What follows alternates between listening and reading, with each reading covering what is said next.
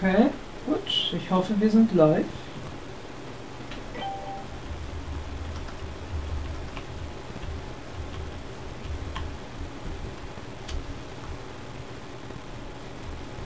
Okay, Donny hört uns. Gut.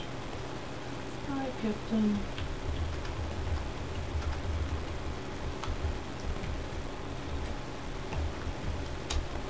So, dann hoffe ich, wir sind live mit einem etwas seltsamen Workshop. Warum ist der seltsam? Der ist seltsam, weil ich ihn zum zweiten Mal mache ähm, und ihr nicht. Ich habe heute eine Stunde Workshop voraufgezeichnet auf unserer lieben Videokamera und ähm, sie mag den Film nicht hergeben. Äh, sprich, die, die Karte ist mal wieder irgendwie kaputt gegangen, lässt sich nicht auslesen, die Kamera schickt aber das Ding auch nicht das Verbindungskabel und jetzt habe ich also eine Stunde lang einen Workshop gemacht und äh, mache ihn quasi dann nochmal. Äh, was mich immer so ein bisschen stresst, ähm, weil ich dann hier die ganzen Folien habe und dann muss ich mich daran erinnern, wie war das jetzt und was wollte ich damit sagen und mache ich es besser oder schlechter als vorher. Äh, und ach, scheiß drauf, jeder Workshop ist anders. Äh, ich lasse mich davon jetzt nicht stressen. Das heißt, wir haben heute zwei Workshop-Themen, also äh, Anfragen gehabt. Ähm, einen vom Captain, der Captain möchte gerne Wasser haben. Habt aber auch gesagt, bitte nur, wenn keine anderen Anfragen sind und deswegen kommt der Captain in der zweiten Stunde dran. In der ersten Stunde haben wir eine Anfrage gehabt, äh, die den Captain allerdings auch betrifft, ähm, nämlich bezüglich Kopfbedeckungen, speziell Hüte. Äh, und äh, da kann man viel Quatsch machen und ich werde versuchen, euch das heute so beizubringen, speziell mit dem Hinweis auf so Piratenhüte und so, ähm, dass wir die Hüte besser auf den Kopf kriegen. Ähm, und deswegen heißt unser heutiger Workshop, es macht immer Hut, Hut. Immer nur Hut, Hut. Und ich werde mal ganz kurz noch was ändern hier am Vorhang, damit es nicht gar so hell ist. Es ist irgendwie die Bildqualität gerade wieder so. Ne? So, ich hoffe, das hilft was. Jetzt ist es dunkler, oder? Nicht wirklich. Nicht wirklich? Nö. Na gut, dann müssen wir jetzt einfach damit leben. Das Schlimmste daran ist, ich hatte ganz viel mit verschiedenen Farben gearbeitet und äh, Vorzeichnungen und so und das klappt alles jetzt nicht mehr, weil äh, man das auf dem Stream nicht so gut sieht. Das heißt, ich werde einfach alles irgendwie nochmal... Donny findet es besser. Was bleibt? Jetzt gerade. Ah, okay, ja. Ich denke auch, hier gerade eben oben noch zuzumachen, hat jetzt auch noch was gebracht. Also dunkler kriegen wir es nicht, es ist ein strahlender Sonnentag. Äh, besser ist das jetzt, kann ich es nicht dunkel kriegen. Südseite und so. Ähm, Im Gegensatz zu einem guten Wein ist ein Workshop etwas, das auf der Südseite nicht so gut gelingt und manchmal wünschte ich, wir hätten ein Fenster nach Norden raus. So, ähm, für normales Normales Zeichnen ist das aber das Beste, was man kriegen kann. Südlicht ist etwas, wonach sich ganz viele Leute äh, die Finger ablecken und von daher bin ich in unserem kleinen Atelier nach wie vor zufrieden. Ähm, so, Hüte. Also, ähm, warum fange ich überhaupt von Hüten an? Ich werde jetzt einfach versuchen, diesen Workshop ein bisschen anders zu machen als der, den ich den ich vorhin gemacht habe, den fand ich zwar super, aber ich krieg's eh nicht so hin. Vielleicht kann ich den Film mir noch retten. Ich weiß es nicht. Keine Ahnung. Wenn ich ihn gerettet kriege, stelle ich ihn dann auf jeden Fall irgendwann online und dann kann man vergleichen, welcher Workshop besser war, aber ich habe keine Lust, das jetzt nochmal neu zu machen. Was ich vorhin nicht gezeigt hatte im Workshop, sind die klassischen Fehlerchen, die so passieren, ähm, wenn Leute Hüte machen. Und vielleicht merkt der eine oder andere von euch, ich weiß ja auch gar nicht, wie viele wir überhaupt sind, ist außer dem Captain irgendjemand on? Nein, im Moment noch nicht. Im Moment ist noch niemand on außer dem Captain. Dann kann ich dem Captain kurz erklären, ähm, was an dem äh, Haarbild, das wir vom Captain gekriegt haben, ähm, nicht so geklappt hat. Nur habe ich den USB-Stick nicht drin, aber ich mache es einfach aus der Erinnerung. Ist auch kein Problem. Ähm, ich müsste es aber hier noch auf dem anderen Rechner haben, oder? Nein, habe ich nicht. Den habe ich ja von dir gekriegt, Karina. Ah. Okay, ich habe gar keine Ahnung, wo der Stick ist, aber ich kann es trotzdem zeigen, was passiert ist. Ähm, grob aus der Erinnerung, und das ist etwas, was vielen Leuten passiert. Man nehme einen Kopf, man nehme eine Krempe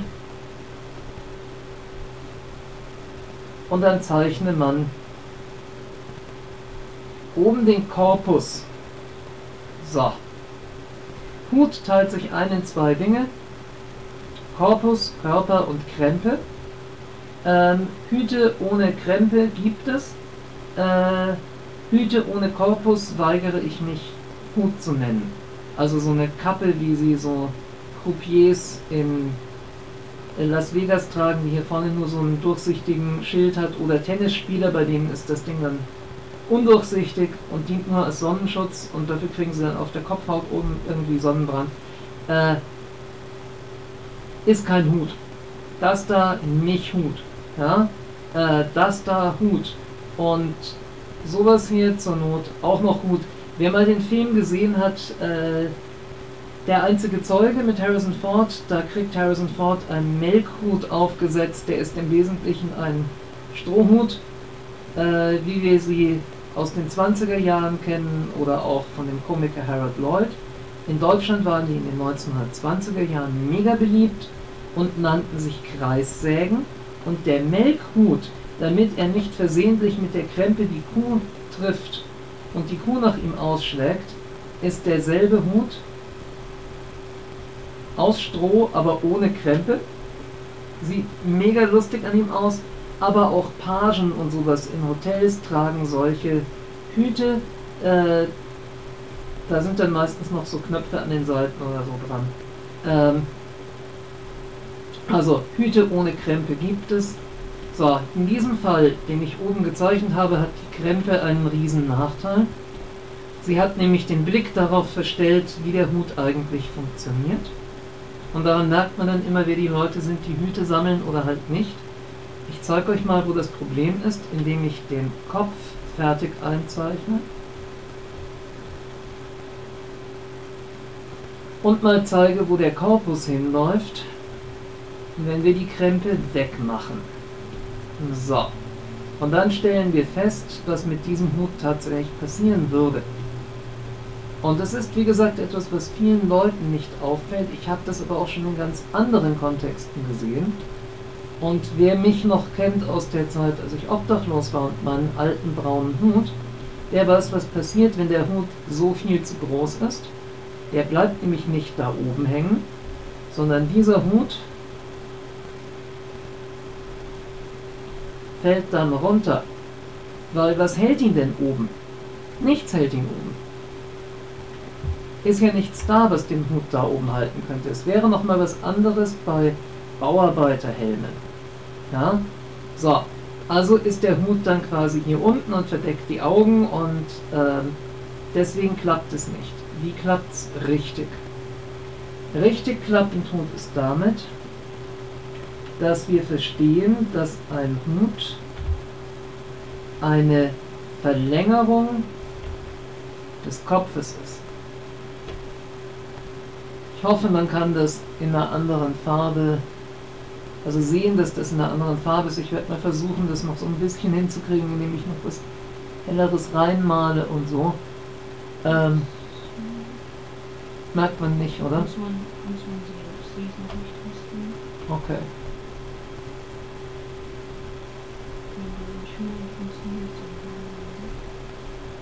Ja, aber da ist es noch nicht so hell wie heute. Heute ist wirklich extrem hell. Vielleicht wird es ja nachher ein bisschen dunkler. So, also, der Korpus sitzt auf dem Hut, äh, auf dem Hut, ja genau, sitzt auf dem Kopf drauf und muss genauso breit sein wie der Kopf selber. Deswegen ist auch die Hutgröße so, Hutgröße so wichtig. Mit was? Orange? Orange, ich kann es mal versuchen. Auch nicht viel besser, ne? So. Also. irgendwas wird man schon sehen können. Gut. Also ob rund oder eckig oder wie auch immer, äh, wir kommen nachher dazu, was es für verschiedene Hutkorpustypen gibt. Ähm, in der Regel habt ihr einen Hut, der sitzt genau so drauf. Gibt es Damenhüte, die größer sind? Ja. Besser mit Orange? Alles klar. Gut. Ähm, es gibt Hüte, die sind tatsächlich absichtlich größer. Äh, die sitzen dann quasi aber wie ein Regenschirm über den Haaren und werden mit Hutnadeln da gehalten. Und das war das Problem mit meinem Hut damals. Der war eigentlich ein Damenhut, aber ich hatte keine Haare mehr, um irgendwie mit der Hutnadel das Ding in meinen Haaren zu verankern. Ähm, und deswegen war halt der Hut ein bisschen zu groß. Das war aber okay, damit sah ich aus wie eben Patterson aus Patterson und Findus und ich schätze diesen Hut immer noch sehr ähm, für das, was er war, auch wenn ich ihn momentan nicht trage. So, das heißt, dass also auch ein Piratenhut eben seine Beule direkt über dem Kopf hat und nicht rechts oder links davon und man darauf am besten aufpasst, während man die Figur zeichnet. Nun haben wir ja immer die Einteilung des Kopfes in Drittel. Und das hier zum Beispiel ist jetzt ein Hut, der sitzt ein bisschen sehr tief. Ich werde ihn mal ein bisschen höher ziehen, weil er normalerweise nicht ganz so knapp über den Augenbrauen liegt. Aber hier so. Und das Wichtige an den Hüten ist, dass der Korpus quasi immer parallel zur Augenbrauenlinie verläuft, mehr oder weniger. Kann mal hinten im Nacken ein bisschen weiter nach hinten rutschen oder so, aber als grobe Orientierung ist also hier die Linie parallel zu der der Augen. Und das bedeutet, wenn wir den Kopf irgendwie drehen, machen wir mal schräg unten oder so, dann ist auch sofort klar, wie der Hut sich mitdreht, sobald ich die Sichtlinien habe. So.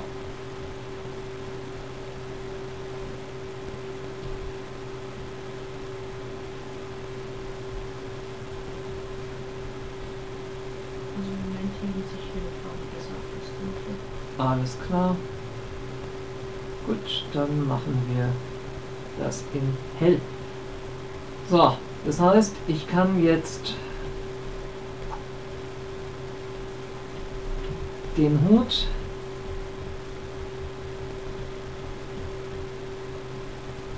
hier oben draufsetzen und wenn der Hut nur eine runde Kappe ist, dann ist das mega einfach, den also einzuzeichnen.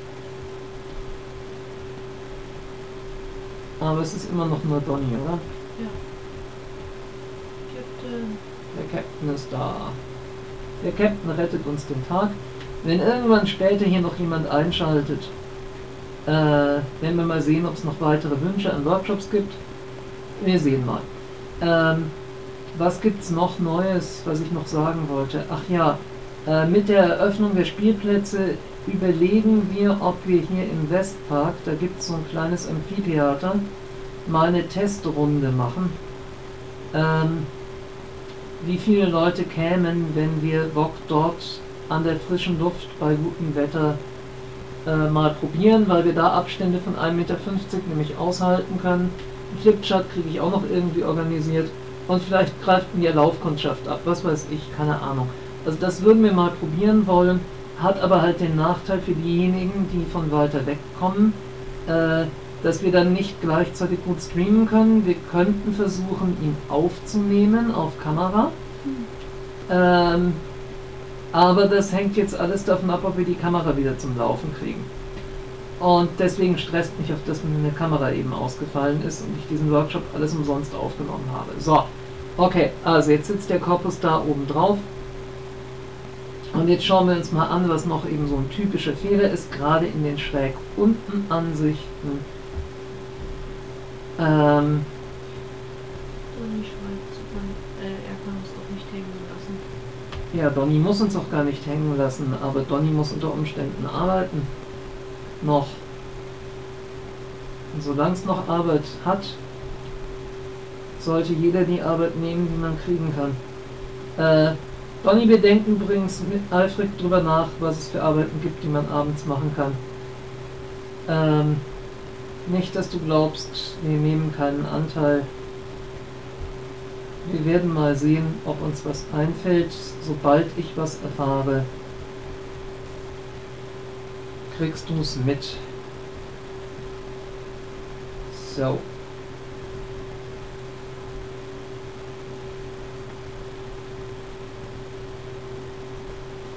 Okay, und was ist jetzt also Leuten passiert schon?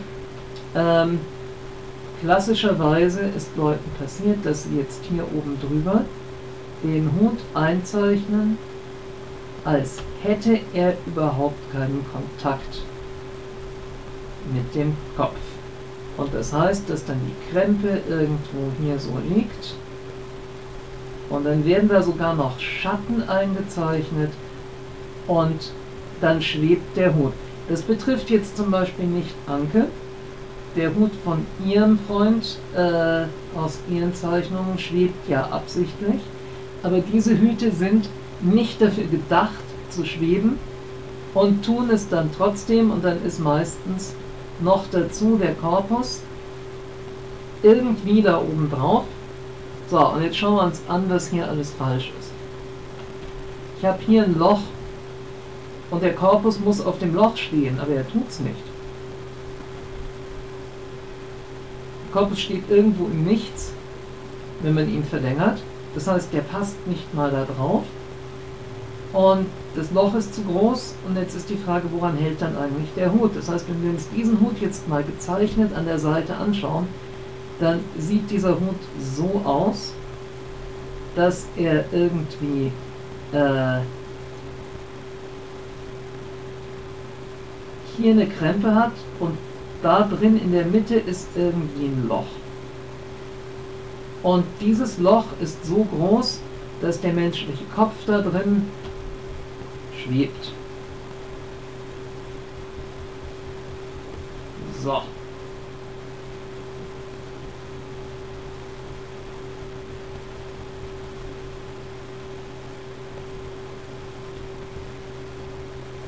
Und ich habe keine Ahnung, was das sein soll. Es ist sicher irgendein Science-Fiction-Ding, aber es ist kein Hut. Ähm, das sind also so die typischen Dinge, die Leuten gerne passieren. Die würde ich gerne beseitigen. So, das ist natürlich Teil des heutigen Workshops. Und deswegen habe ich ein paar Köpfe hergerichtet. Und ähm, wir können schauen, was wir da jetzt also machen müssen, um den Hut vernünftig aufzusetzen. Also Schritt 1, Korpus drauf. So, wir fangen mit runden Korpusen an, aber bitte auf einer eigenen Ebene, Sama. So. Der Korpus als solcher ist nicht immer rund, aber der klassische ist erstmal rund. Das liegt daran, dass ähm, Rohhüte, wenn sie gebastelt werden, ähm, aus einer Filzplatte mit einer Kuppel in der Mitte bestehen. Das heißt, so ein klassischer Schlapphut besteht eben genau daraus,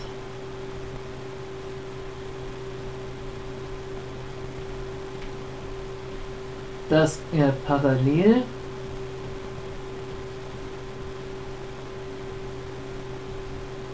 zum Ansatz, also hier so der Linie auf der Stirn, ähm, eine Scheibe drumherum hat. Dabei müssen wir bitte daran denken, dass der Abstand hier vorne, ich mache den mal orange rein, dieser Abstand hier kleiner ist als die Abstände an den Seiten. Das ist natürlich nur eine optische Täuschung, aber wegen der perspektivischen Verkürzung ist das und hinten der kürzere Abstand. Ja? Und äh, an den Seiten scheint der Hut breiter zu sein. Also es entsteht ein Ei. Das ist ja auch ganz nützlich für uns. Eier sind ja immer leichter zu zeichnen. Mit den Farben sieht es gut aus. Okay, das sind die, die sonst nicht zu sehen sind, aber heute ist offensichtlich alles anders.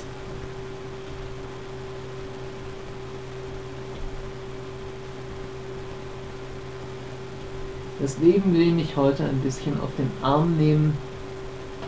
Wer 2005 dabei war, als wir die Zen-Veranstaltung gemacht haben, ähm, Nothing is left for you at this moment but to laugh. Dir bleibt in Momenten wie diesem ja gar nichts übrig, außer das Lachen, weil man alles andere ja verliert. Den Humor kann man nicht wirklich verlieren. Lachen ist ja eine Reaktion auf unerwartete Dinge und ich habe es heute echt nicht kommen sehen. Das, was ich habe kommen sehen, ist, äh, es wird wieder gar keinen Workshop geben, weil jetzt kann ich keine Kamera mehr, aber ich kann auch nicht streamen aber wie man sieht, heute funktioniert der Stream, ist ja auch kein Feiertag. Hoffen wir einfach, dass es so bleibt, weil wenn jetzt irgendwann der Stream wegbricht, weiß ich wirklich nicht mehr, was ich heute noch machen soll und dann ist es mir auch wurscht. Ähm, so, gut, also, das ist der Grundkorpus von allen Hüten, wie der Hutmacher sie früher gekriegt hat und die Hutmacher, die es gibt, sie auch noch kriegen. Hallo Paula, grüß dich. Das macht gar nichts, dass Paula ein bisschen spät kommt. Wir fangen ja gerade erst wirklich mit Hüten an. Ich habe vorhin erklärt, was man falsch machen kann. Jetzt kommst du gerade rechtzeitig, um zu hören, was man richtig machen kann. So. Und Louis ist da. Louis ist da. Hi Louis, grüß dich.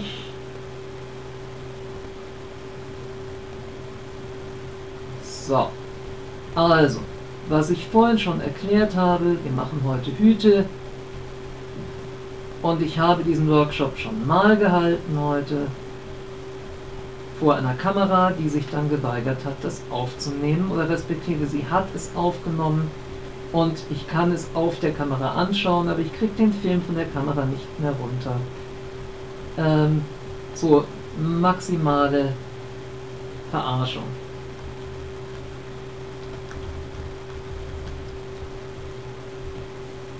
So. Ähm, gut, schauen wir uns an, wie das von der Seite aussieht. Von der Seite ist es normalerweise so, dass wir in der Tat den Hut ein bisschen hinter ins Genick ziehen. Jo, Dankeschön für die Grüße. So, der Hut, den ich jetzt hier quasi gemacht habe, wäre so eine Art Priesterhut. So, die bei denen die, die Krempe gar nicht nach unten runterhängt, aber auch nicht nach oben rauf steht. Woran erkenne ich es? Wichtig zum Erkennen davon ist, ich zeige das mal kurz mit einem schwarzen Pfeil auf einer eigenen Ebene. So. Diese Überschneidung hier. Ich zoome mal rein.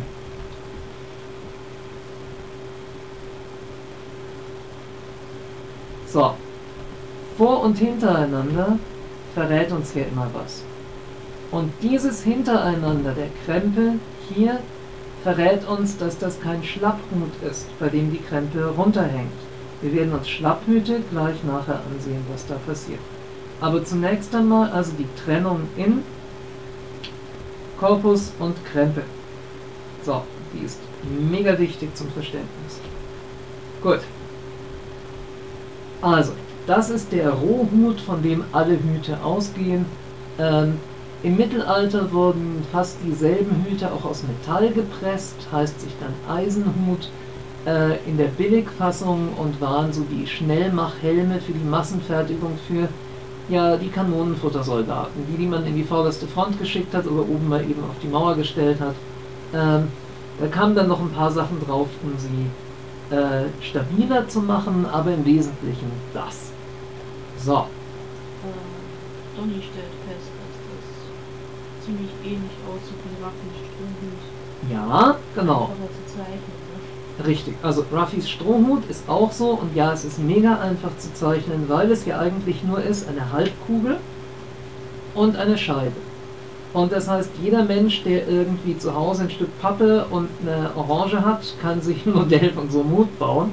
Und ähm, sich das daran anschauen. Vollkommen richtig. So. Und das Wichtige eben, wie gesagt, Korpus immer so breit wie den tatsächlichen Kopf und deswegen niemals Hüte auf Köpfe zeichnen, ohne den Hut doch zu konstruieren. Und den Kopf vorher zu konstruieren, weil sonst sieht es halt dann so aus, dass die Dinge nicht passen. Okay. Jetzt kann sich von diesem Rohhut aus alles Mögliche ändern. Wir fangen mal mit dem an, was ich gerade vorhin gesagt habe, nämlich dem Schlapphut. Was ist bei dem Schlapphut anders? Gar nicht viel. Ähm, was haben wir hier? Achso, kann weg. So. Ähm, ich mache mal nochmal einen Korpus drüber.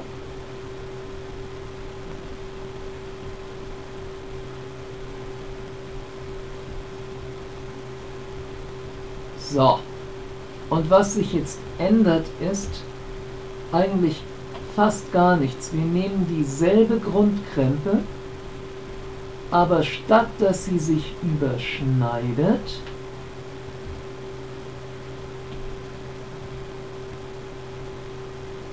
lasse ich sie hängen, bis sie sich nicht mehr wirklich überschneidet.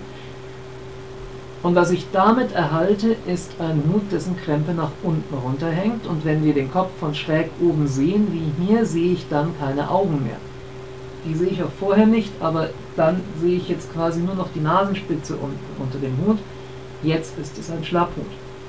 Das gleiche können wir auch in der Schrägansicht machen.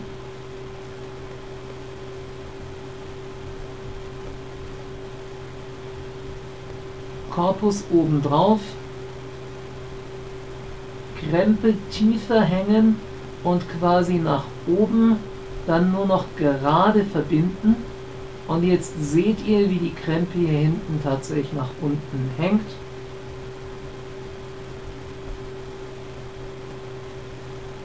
Und in der Seitenansicht ist das dann quasi ein Trapez. So, und das ist nun die tatsächliche Form auch des Eisenhuts, aber sie ist auch die von jedem beliebigen Schlapphut, den wir haben.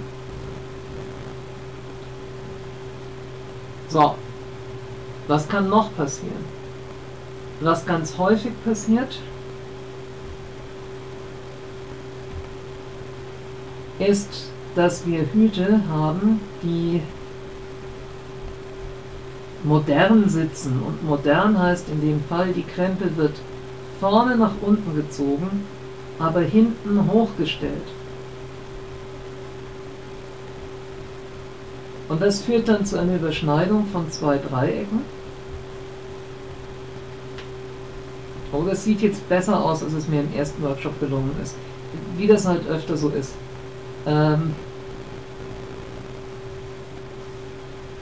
so.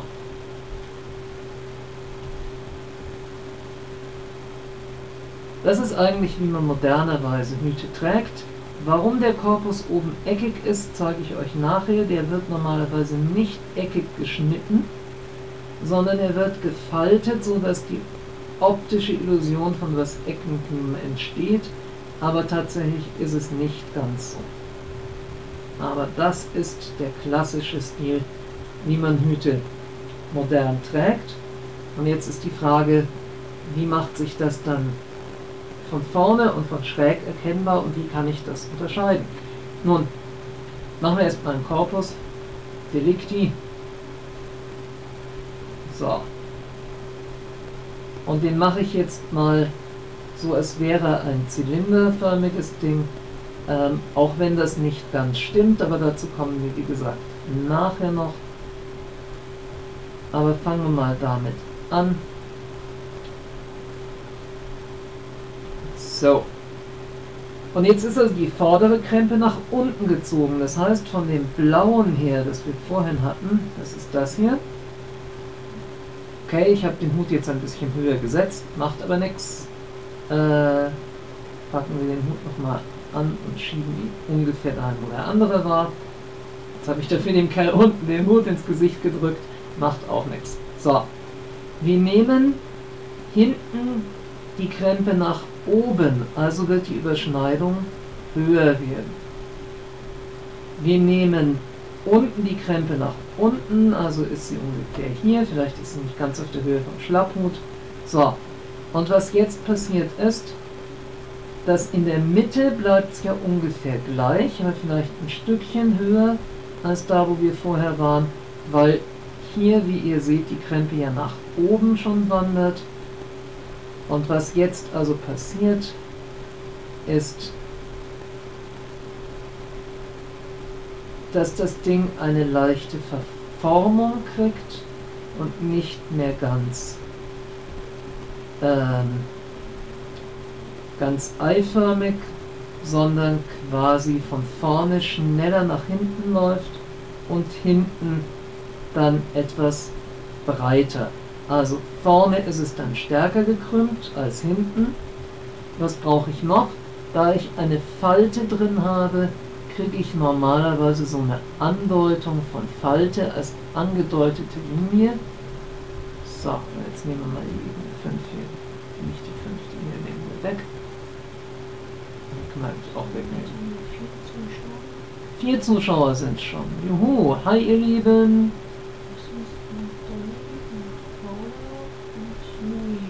Genau, irgendjemand von euch ist uns noch unbekannterweise zugeschaltet. Lasst gerne von euch im Chat auch hören, wer ihr seid. Stellt auch gerne Fragen. Wir haben heute Anfragen für zwei Workshops. Das heißt, die letzte Stunde habe ich noch gar keine Ahnung, was ich tun soll. Anfragen wären eine gute Sache. Ähm, aber wir werden es ja sehen. So.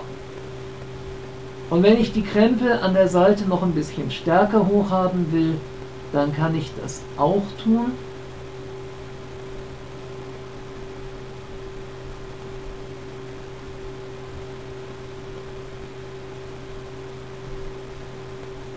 Und dann kriegt das schon fast hinten was Waagerechtes.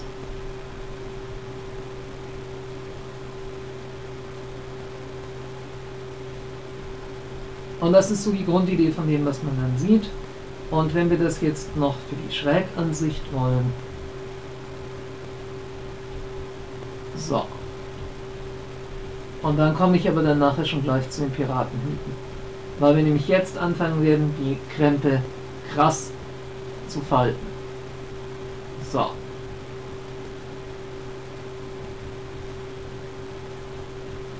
Und dann ist das in der Schrägansicht halt so eine Mischung aus den beiden.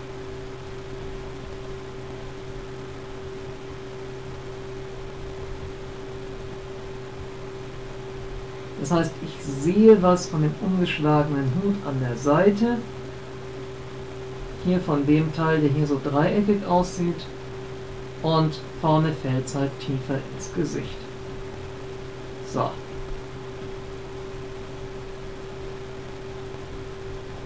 Gut. Ganz wichtig ist hier einfach Recherche, Recherche, Recherche. Aber vor allem, es bleibt dabei, die Hüte sehen richtiger aus, wenn der Korpus auf dem Kopf sitzt und nicht irgendwo abseits. So. Und jetzt gehen wir nochmal zurück zu dem Schlapphut.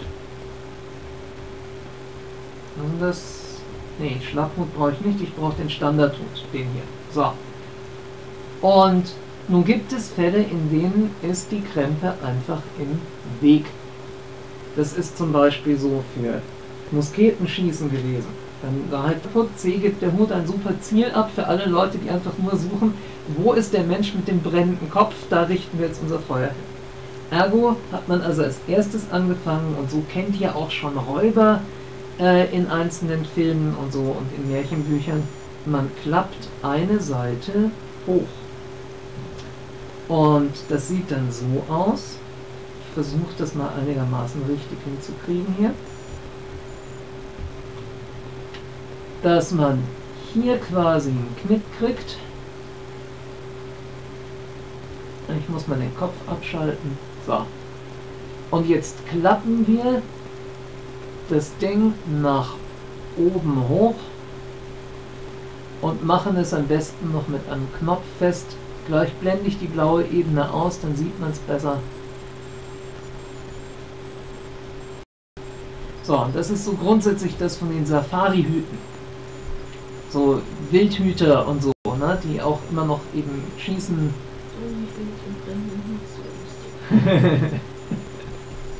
Kannst dir einbauen. Am besten Blackbeard werde ich ja, Blackbeard wäre zum Beispiel gut beraten, was es ja auch gibt, sich den vorderen Teil der Krempe hochzuklappen. Ja? Ähm, so, das ist also auf einer Seite weggeklappt. Und diese Seite kann auch die Vorderseite sein. Äh, das sind dann so Fischerhüte zum Beispiel.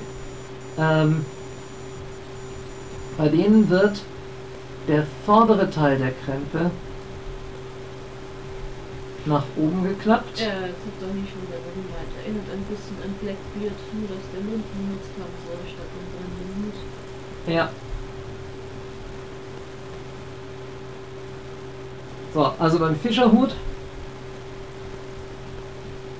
So das gelbe Zeug aus Ölzeug, das gibt es hier heute noch. Ja. Ist quasi die vordere Krempe nach oben geklappt.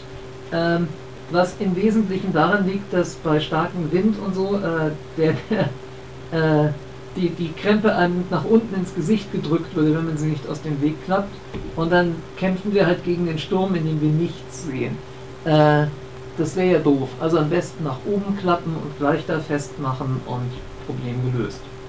So, ähm, ist auch sehr windschnittig. Gut, also Räuberhut. Ja, ähm, da ist aber dann oft auch der Korpus eckiger zum Beispiel, damit das hübscher aussieht oder so. Aber Korpustypen schauen wir uns nachher noch an. So, erstmal Krempenbearbeitung. Weil wir nämlich bei dem runden Korpus erstmal bleiben können. Das war jetzt also eine Seite hochgeklappt.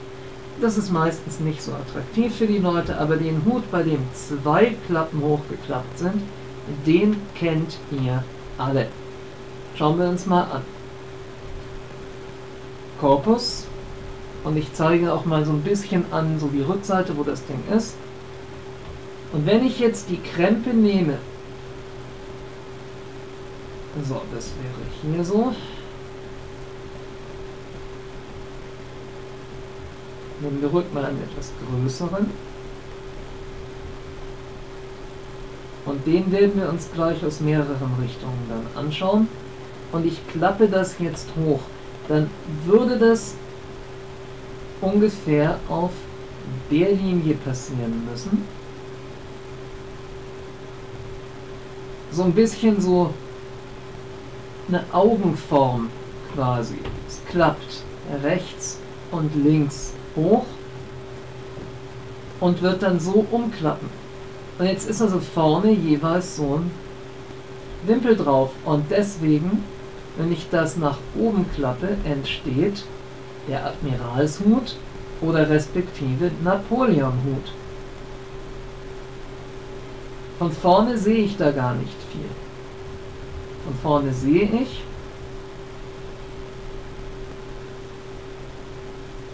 etwas, das aussieht wie ein Orangenschnitz. Und die Rückseite sehe ich vielleicht ein bisschen irgendwo, aber nicht wirklich. Und wenn, also mir die Bemerkung erlaubt ist, es gibt verschiedene Typen dieser Hüte. Es gibt die, die darauf geachtet haben, dass das Schild vorne ganz gerade bleibt. Aber so der klassische Piratenhut ähm, kriegt quasi noch eine Delle rein. Wie kommt diese Delle zustande? Die kommt dadurch zustande, dass da hinten immer noch der Korpus im Weg sitzt. Hier so drin und der Hut quasi drumherum gefaltet wird. Ich zeige euch auch gleich, gleich nachher, warum das so ist. Das sehen wir dann gleich in der Seitenansicht. So. Und dann kann da vorne zum Beispiel ein Totenkopf drauf.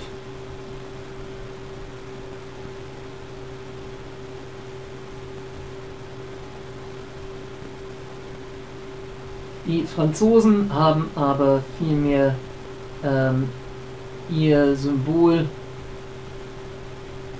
dann irgendwo an der Seite dran geklemmt, die Trikolore und meistens noch irgendwie so einen kleinen Wimpel oder so. Das klemmte dann da an der Seite wie eine Zielscheibe.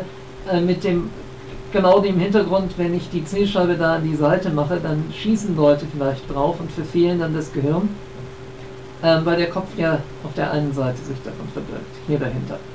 Ähm, Vielleicht ist es das. Keine Ahnung. Die, die, die Piraten waren mir todesverachtend. So, jetzt schauen wir uns das mal an, wie das auf den Köpfen aussieht. Wir holen uns mal die Ebene mit den Köpfen wieder her. Bei dem Kopf von vorne haben wir es gerade eben gesehen. Jetzt bei dem schrägen Kopf. Ich konstruiere das immer durch. Ich beginne an der Stirn und ich suche mir an der Seite zwei kleine Striche, von denen aus ich quasi rumfahre. Matthias, wenn du dieses Video siehst, jetzt verstehst du, wo Ramrod von Saber Rider und den Star Sheriffs sein komisches Hutdesign her hat. Man hat ihm die Krempe hier rechts und links abgeschnitten. Warum mache ich hier nicht eine Spitze hin? Warum ist das ein Strichlein? Ja, weil es hier gefaltet wird und dann gibt es da einen Abstand. So, und hier drauf baue ich jetzt Schild Nummer 1 und es legt sich quasi um den Kopf herum und Schild Nummer 2 liegt dann hinten. Neue Ebene drauf und wir schauen mal warum jetzt das Strichlein praktisch ist. Das Strichlein ermöglicht mir nämlich so hier drüben so einen hübschen kleinen Abstand da wurde nicht geknickt. Wenn man Filz knickt, geht er kaputt. Er muss gebogen werden und kann dann in der Form verharren, wenn man ihn mit Wasserdampf bearbeitet. Ähm, so, und warum gibt es da jetzt verschiedene Fassungen, die verschieden lächerlich aussehen und die Seitenansicht ist das Problem. Wenn wir uns das von der Seite anschauen möchten, mache ich das hier. Korpus drauf, Jetzt ist hier mein kleines Strichlein und das ist der Boden, von dem aus sich die Krempe auffaltet. Sie faltet sich nach vorn und wenn sie jetzt von der Seite gerade durchgeht, dann sieht es so ein bisschen aus wie so ein Idiotenhut oder so, ja? oder eine nicht fertig gefaltete Bischofsmütze oder ähm, Himmel- und Hölle-Spielchen oder so. Und ähm, das ist dann vielleicht nicht gar so hübsch. Und was merke ich gerade eben? Ich habe das... Ne, ich habe es nicht in die... Okay, ich habe es in die falsche Ebene gezeichnet, aber zum Glück nicht die... Mit den Köpfen. Das wäre jetzt ärgerlich gewesen. So, also... Ähm, was ist die Alternative? Die Alternative ist, wir biegen es näher an den Kopf und dann ist dieser Wimpel hier dazwischen nicht so groß. Und deswegen passiert dann folgendes. Ich lege das Ding vorne näher ran und biege es enger hin und dann berühren die sich fast. Und man sieht nicht genau in die Seite rein, aber irgendwo hat es trotzdem was von einem Harlequin-Hut. Und deswegen ist es auch so, dass ganz wenige Leute wissen, wie Napoleons Hut von der Seite aussah, weil man ihn nie von da gezeichnet hätte. Sieht auch ein bisschen aus, als hätte man eine Zeitung gefaltet, um sich da so, so einen Malerhut aufzusetzen. Also beim besten Willen nicht so pompös von der Seite wie von vorne oder von schräg. So, das ist der sogenannte Zweispitz.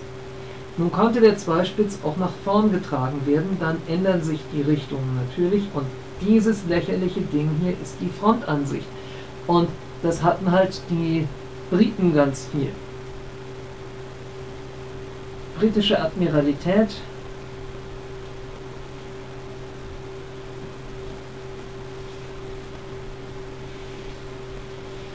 und Kapitäne tragen diesen Hut. So. Und mein Gott, es sieht halt immer noch aus so ein bisschen nach Schiffchen, ne? Aber passt ja vielleicht auch, weil Marine. So, persönlich finde ich diese Art von Hut nicht hübsch. Es ist einer von den Hüten, die mich gar nicht reizen, mir selber aufzusetzen, weil es jetzt auch so ein bisschen an Eselsohren erinnert. Also, taugt mir nicht. Ähm, was ich euch empfehlen kann, ist, schaut euch unbedingt die von Playmobil an, die zwei Spitzhüte, die sind klasse zum Lernen, äh, wie die wirklich funktionieren. Und jetzt schauen wir uns das nochmal an, ähm, in einer etwas schwierigeren Perspektive, nämlich dann von schräg unten und dann verstehen wir nachher nämlich auch besser, wie ein Dreispitz funktioniert. So,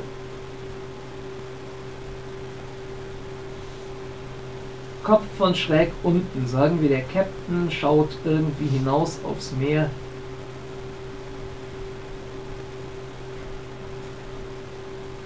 So. Und jetzt muss ich da so einen Zweispitz anbringen. Und das funktioniert am besten, indem ihr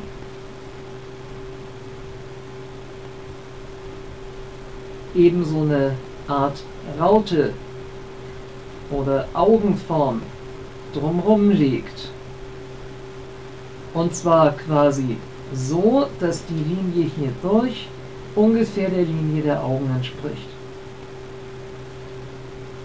Von der Richtung her. Einmal hier, einmal da. Zack. So. Und jetzt kann ich da drauf den Schild legen.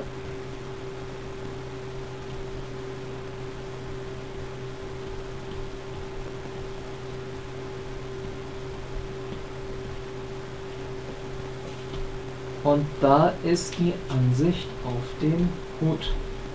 So, jetzt geht es mir inzwischen auch wieder besser. Jetzt ist dieser Workshop so viel anders geworden, obwohl ich viele Dinge ähnlich zeichne, dass ich mich jetzt abgeregt habe.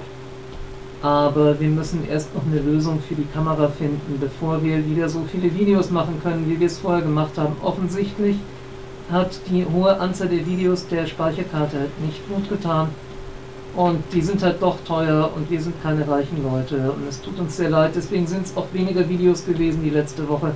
Abgesehen davon, dass ich auch mehr zu tun hatte gerade wieder. Ähm, aber das ist halt jetzt so. So. Bitte schön, dann haben wir hier von schräg unten auf einen Zweispitzhut die Ansicht. Das heißt also, hier ist die W, Korpus, der ist rund und wie eine Art Kompassnadel könnt ihr euch den Hut zurecht drehen, wohin immer ihr wollt. Ihr müsst euch das quasi so vorstellen, das würdet ihr eine Art Kugelkompass ausrichten. Und dann kann ich den Grundkörper überall hin anlegen.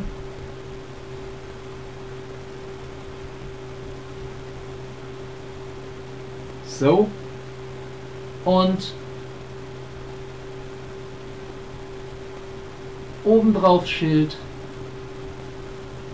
und dahinter noch einen zweiten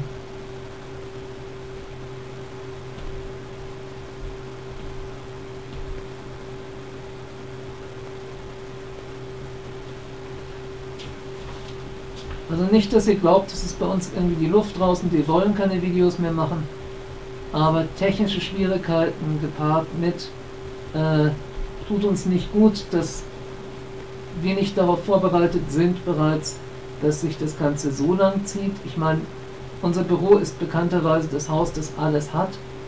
Aber äh, es war nie vorgesehen natürlich, dass das einen Belastungstest aushält von irgendwie Wochen über Wochen, ähm, die wir fröhlich Content produzieren. Äh, also sorry, wenn wir diese Woche ein bisschen zurückgezogen erschienen, aber es ist nicht so, als würden wir aufgeben. Wir werden das weitermachen. So, dann ähm, jetzt der Dreispitz. Da ich jetzt weiß, dass Paula online ist, kann sie das live mitverfolgen. Hier wird also nun die Krempe dreimal gefaltet und ich habe für Harrow the Pirate einen vereinfachten genommen. Ähm, aber ich kann euch gleich nachher meinen Hut zeigen, wie er klassisch ist. Jetzt habe ich die größere Kamera, da passt er auch besser hin. Vorhin habe ich es mit der kleinen versucht, da hatte das Bild ausgefüllt, war vielleicht auch gar nicht so gut zu zeigen. Aber ich trete dann einfach nachher vor die Kamera. Ähm, so, Fangen wir nochmal frisch an. Corpus zuerst. Corpus Huti. Wenn Hutus das lateinische Wort für Hut wäre. So, was nicht so ist. Okay, also. Nicht so tief. Warum ziehe ich immer den Hut bis runter auf die Augenbrauen? So will ihn doch kein Mensch tragen. So. Hier sitzt der Hut.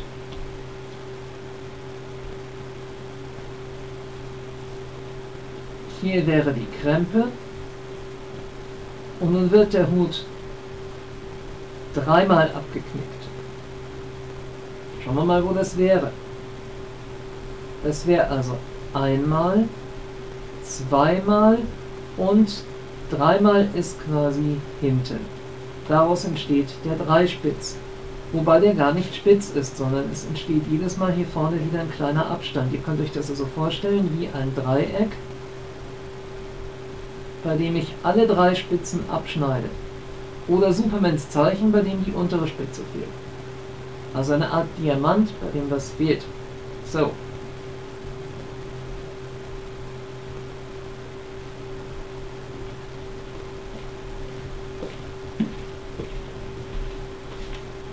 Jetzt ist das meine Grundfläche und was habe ich für Haare gemacht?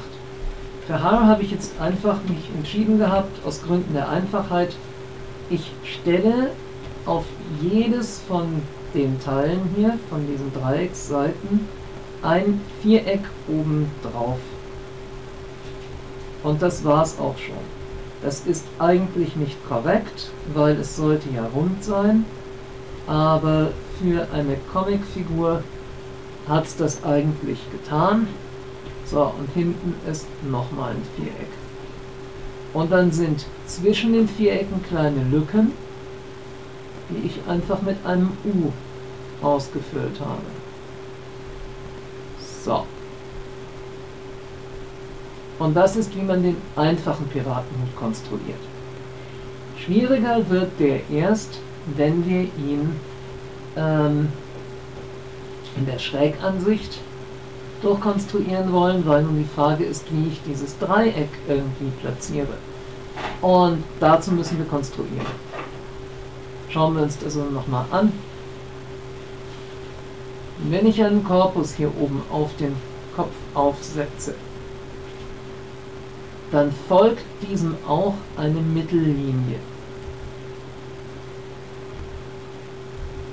Und die Mittellinie kommt hinten irgendwo wieder runter. Und das heißt, was ich brauche, ist vor allem auch, um richtig, richtig, richtig die Spitze zu finden, ich muss mir quasi den Hut durchsichtig vorstellen. So.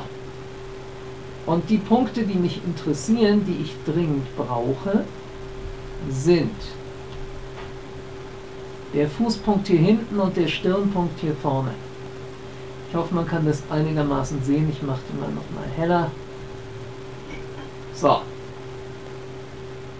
Also, Fußpunkt da hinten, Stirnpunkt vorne und wenn wir zwischen denen jetzt eine Linie nach vorn ziehen,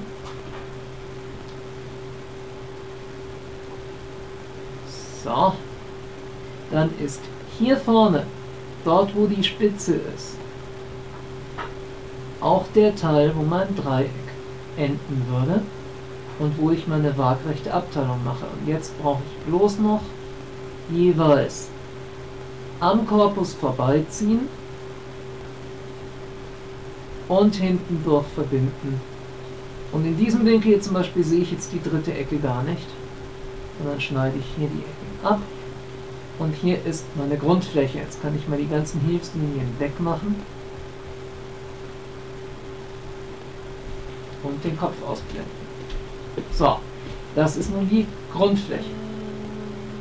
Jemand beschwert sich? Hi Leti! Donny schreibt, den Begriff Piraten finde ich persönlich fragwürdig. Die nahmen das, was da war, auch modetechnisch.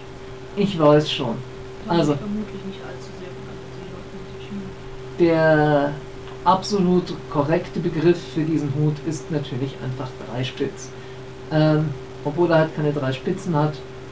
Aber ja, ich, ich sage immer gern Piratenhut dazu. Es ist natürlich vollkommen richtig, das habe ich in einem anderen Video auch gesagt. Auch der Freiherr von Münchhausen hat diesen Hut getragen. Aber ich stimme dem Captain natürlich vollkommen zu. Äh, man hat genommen, was man gefunden hat. Vielleicht hat Dio ja eine technische Lösung. Ja, ja. Aber da würde ich dann Guido wahrscheinlich mal anrufen. Heute Abend oder so nach dem Essen. So. Und jetzt haben wir wieder das gleiche Ding. Ich stelle also jetzt meine Vierecke auf und habe den Hut, wie ihn Haar trägt. Ähm und von der Seite sieht dieser hier halt jetzt total kacke aus. Deswegen ist Haar auch nicht unbedingt in der Seitenansicht toll, weil dann ist das hier einfach bloß ein Rechteck und obendrauf ist irgendwie so eine Kappe. Das sieht aus, als hätte er einen Priesterhut auf, bei dem irgendwie ähm,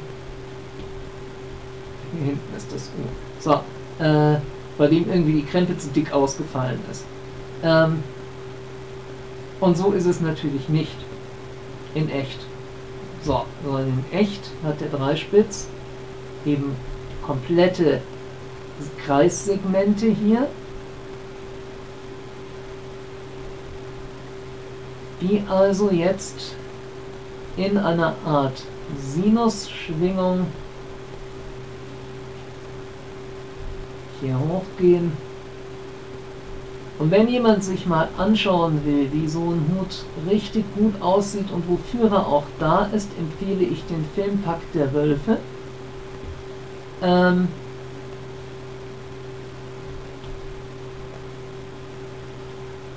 der ist sowieso ein guter Film zum Anschauen, also zumindest für Leute, die äh, leichten Grusel mögen. So, Um Kampfsport. Ähm, für Leute, denen der Name Mark Dacascos was sagt, äh, das ist, denke ich, die Rolle seines Lebens. Ich liebe diesen Kerl als Schauspieler und da durfte er mal spielen. Ähm, boah. So. Gleiches Ding hier.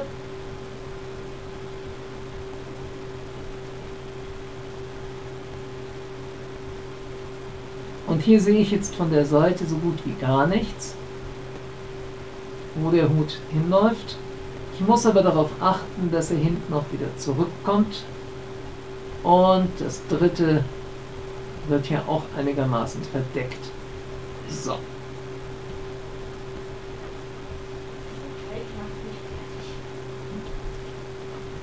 Der Teig will immer noch nicht durch die Teigspritze durch. Es geht jetzt an, er wehrt sich.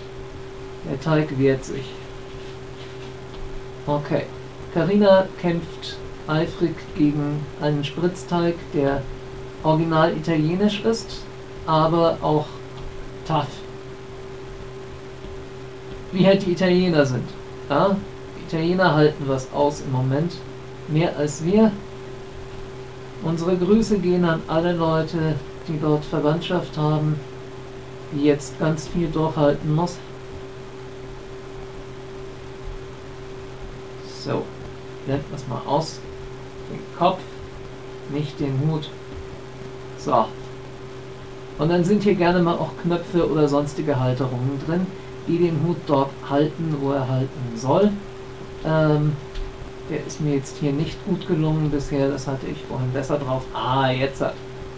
So, da ist der Hut so, wie ich ihn haben möchte. So, und in der Seitenansicht sieht er halt jetzt auch fesch aus. Weil man da nämlich dann den Korpus quasi gar nicht sieht.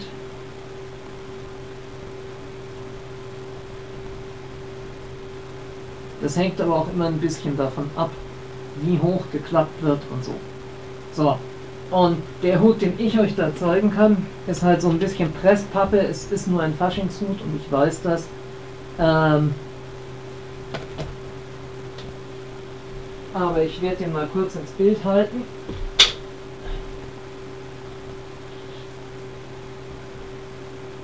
Denn ich mag meinen Hut. So, ähm, das ist das Teil. Und äh, wenn wir uns den Schatten davon ansehen, falls man den sehen kann, ähm, dann versteht man es mit dem vielleicht auch ganz gut, dass quasi hier und hier und hier eingefaltet wird. Und da sind die Knöpfe. Und wenn man die alle aufmachen würde, dann erhält man im Wesentlichen einen ja, runden Hut, der so ein bisschen aufgebogen ist. Bei dem hier ist es noch so, dass dadurch, dass das Pappe ist, eben die Ecken hier vorne auch nach oben aufgebogen werden. Das ist nicht das cleverste Modell, muss ich ganz ehrlich sagen. Weil so beim Regen läuft dieses Ding einfach voll. Und das heißt, wenn man sich dann nach vorne beugt, um irgendwie eine Landkarte oder eine Seekarte zu lesen, macht es und alles Wasser läuft raus. Und das ähnliche ist ein Freund von mir mal passiert mit seinem imprägnierten Hut, bei dem er auch so eine aufgebogene Krempe ringsrum hat. Ähm, Tatsache ist, dass man die Hüte eher so schräg trägt und hier hinten nach hinten läuft quasi das Wasser ab und vorne eben nicht. Und das heißt, man hat noch Sicht. Während bei einem Schlapphut wird alles nass und voll und schwer und es tropft einem vorne ins Gesicht alles rein und so. Ähm, also nicht ins Gesicht, aber halt vor dem Körper. Ich kann nicht mal mir einen Wurstbrot machen, ohne dass es mir reinregnet.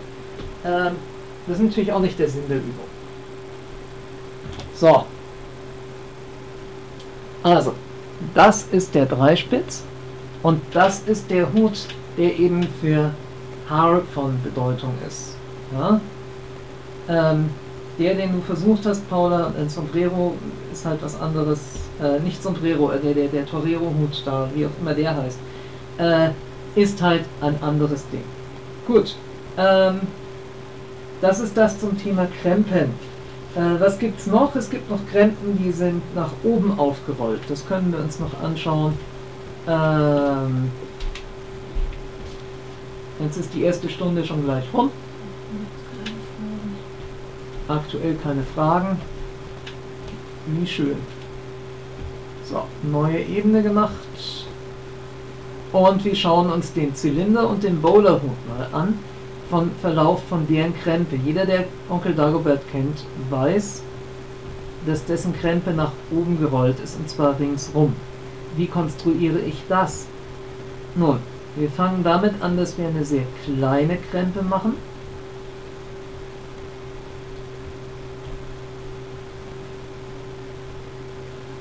Und darüber eine Etage machen wir parallel eine etwas größere. Jetzt kann ich mal den Kopf ausblenden. Hier, der ist gerade im Weg. Eine etwas größere oben drüber. So. Und dasselbe geht auch für Zylinder im Übrigen. Es macht keinen Unterschied. Das hier ist ein Bowler ja, oder Melone. Und wenn ich das oben eben zu einer Zylinderform ausweite, den Korpus, dann ist es halt ein, naja, Zylinder. Ne? So, und nun ist das Ding rund und das heißt, was ich also mache ist, ich verbinde, ach, ich zeige euch das einfach mal ein Stück größer, was mache ich denn hier schon wieder? Ich vergesse immer, dass ich ranzoomen kann. So, schauen wir uns das an. Ich könnte jetzt hier eckig verbinden, aber das wäre falsch. Stattdessen verbinde ich rund. Einmal hier.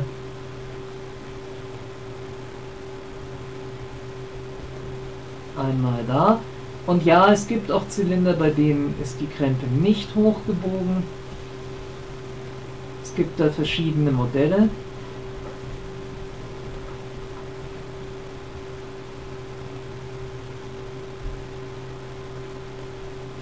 So, aber nehmen wir halt mal den klassischen Bowlerhut. Das Biegen der Krempe ist auch ein Stilmittel des, des Charakterausdrucks. Ja? Ähm, gerne ist Krempe vorne hochbiegen das Ausdruck von einem Bauerntrottel oder so. Ja? Ähm, und deswegen äh, muss man sich das gut überlegen, ob man das einsetzen kann zum Nutzen des Charakters. Jetzt habe ich es natürlich auf dieselbe Ebene gezeichnet. Jetzt kann ich den Hut nicht freistellen, sorry. Dann muss ich es ein bisschen sauber machen. So. Alles klar. Und da hinten wieder die Andeutung von einer Falte. Und dann habe ich auch aufgekrempelte Krempen. So, Jetzt machen wir noch ganz schnell was zu verschiedenen Korpustypen. Der grundsätzliche Korpus, habe ich schon gesagt, ist rund und der kann auch größer sein. Dann kriegen wir so die klassischen Cowboy-Hüte, vier Gallonenhut und so. Übrigens, Äh, wir haben einen 1 Gallonen echten Cowboy-Hut, Haibirte. Ähm, ich habe versprochen für diesen Hut, Hutgröße 60, einen geeigneten Abnehmer zu finden, bei dem er mehr geliebt wird. Ich habe ihn zwar immer hier im Blick, aber er ist mir so groß, dass er mir bis auf die Ohren runterfällt. Und das heißt, er ist für mich nicht wirklich geeignet. Ich suche also jemanden mit Hutgröße 60, der Bock hätte auf einen richtig großen, ähm, coolen Cowboy-Hut. So, das heißt, da ist nun der Korpus. Ich brauche ein. Ah, super. Ich brauche noch mal eine neue Ebene hier. So.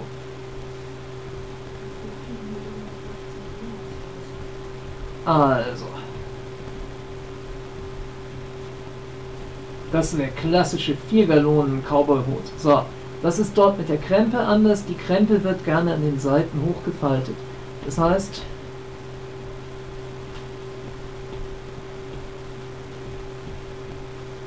hier hoch und hier drüben hoch.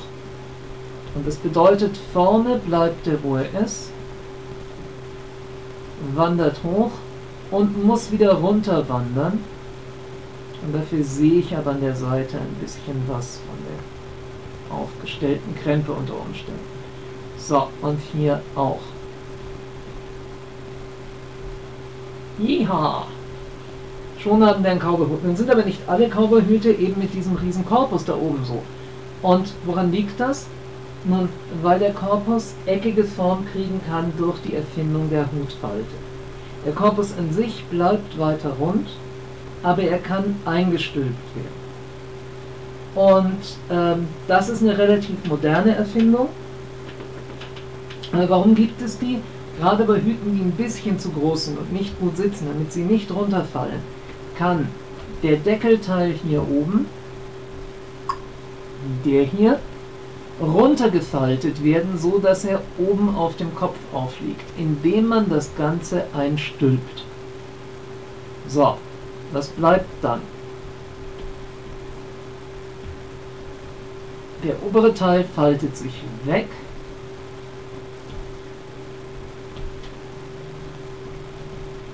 Und stülpt sich erstmal rein. Und unten sehe ich noch die Andeutung von dem Korpus, äh, von, von dem Deckel. Ja? So. Und diese Grundform des eingefalteten Huts muss nicht immer von so weit oben eingefaltet werden. Deswegen kann die auch mal ein Stück tiefer liegen. So zum Beispiel, dass jetzt auch wirklich der Deckel auf dem Kopf oben liegt. So. Worauf müssen wir noch dabei achten? Wir müssen dabei darauf achten, dass hier an den Ecken kleineren, bei kleineren, so ist gut, dass hier an den Ecken kein Kontakt herrscht, damit das Ganze weicher aussieht. Denn das sind sehr runde Falten. Das ist hier Filz, der macht keinen Knick. Wenn man den knickt, wie gesagt, geht er kaputt. Und dann ist er nicht mehr wasserdicht. Hutband drumherum und wir haben so einen hübschen, klassischen ähm, Altherrenhut, weil der hier nämlich noch nicht schick ist. Ähm, warum ist dieser Hut noch nicht schick? Nun, der ist einfach nur rund eingefaltet. Da fehlt noch was. Und zwar kann die Hutfalte durch zusätzliche Falten noch gestylt werden. Was ist der Klassiker davon? Der Klassiker ist, dass wir hier vorne von rechts und von links reindrücken, sodass man das Ding vorne an der Hutfalte packen kann. So, und das führt dann zum klassischen modernen Hutfaltenkorpus. Jetzt schauen wir uns das mal an, was da passiert. Es wird also vorne eine Art Viereck übrig bleiben. Ähm, Matthias, hier wieder Saber Rider.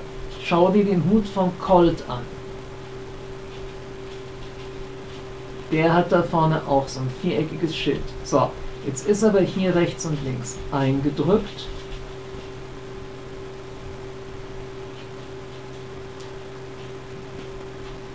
Und der Korpus bleibt unten.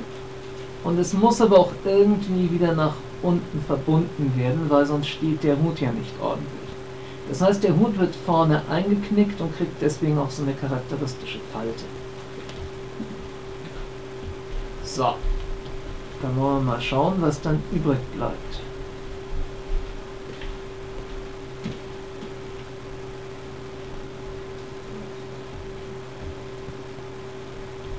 So, es bleibt.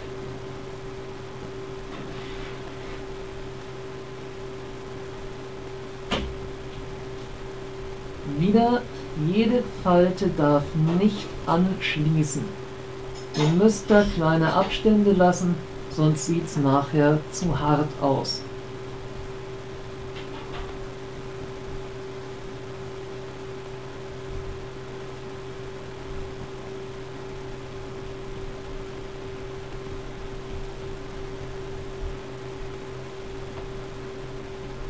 Noch ein Hutband wieder drumherum. Und was wir jetzt hier haben, entspricht ziemlich genau dem Hut, den ich halt auch trage.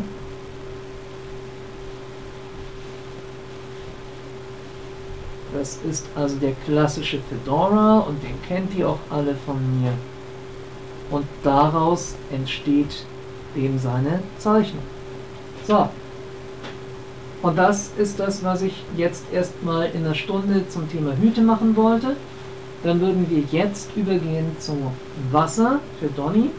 Und wenn es nächste Woche dann wieder Nachfragen zum Thema Hüte gibt, dann kommen wir darauf gerne zurück. Aber jetzt habt ihr erstmal über 60 Minuten Hutprogramm, über das man sich Gedanken machen kann. So. Gut. Dann wäre jetzt die nächste Frage. Karina, sollen wir den Stream anhalten und neu machen? Oder Moment. Im Moment läuft's? Okay, dann machen wir direkt weiter. Ja. Wir machen weiter mit einem Gedicht. Weil ich Morgenstern sehr gerne mag und er hat ein wunderschönes Gedicht zum Thema Wasser geschrieben. Immerfort, immerfort rinnt das Wasser ohne Wort.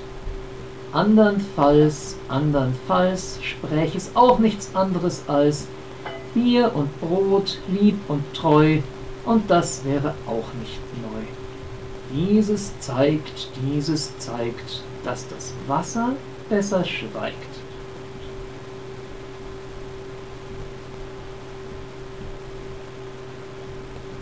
So.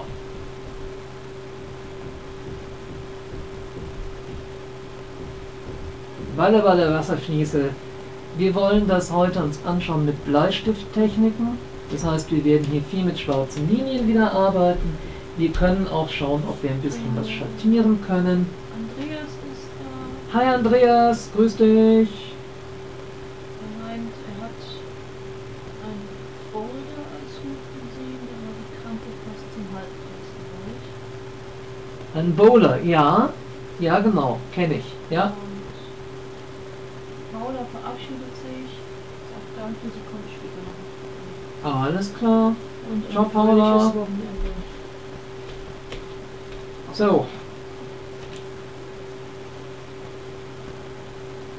Ja, wie gesagt, also bei Bowlern wird die Krempe gerne hochgebogen, ja, bis zum geht nicht mehr. Was die bei Regen machen, möchte ich nicht wissen. Mich interessiert so ein Bowlerhut auch gar nicht. Also für, für mich ist der optisch, denke ich, auch nicht das Richtige. Ich brauche was, was meine, meine eher breite Unterseite oben ein bisschen ausgleicht. Ähm, aber nicht unbedingt einen mega großen Hut, der betont, wie klein ich bin. So, ähm, also, Wasser. Und zwar erstmal Betonung auf Ozean. Gut. Ähm, die wichtigsten Dinge, die ich fürs Wasser auf dem Ozean sagen kann, ist, ähm, es ist verdammt viel möglich. Es sind ja je nach Windlage äh, total verschiedene Wellenbewegungen möglich. Das heißt, es gibt auch irrsinnig viele verschiedene Stile, wie man es zeichnet. Ähm, ich fange jetzt einfach mal mit ein paar Sachen an, die mir so einfallen. Und was halt noch wichtig ist, ist die Tatsache, dass das Wasser halt spiegelt. Und das heißt, dass wir ganz viel arbeiten müssen mit Kontrasten. ähm, an den richtigen Stellen, weil es vor allem auch darum geht, Dinge einzubinden. Ich demonstriere das mal mit einem einfachen Schiff.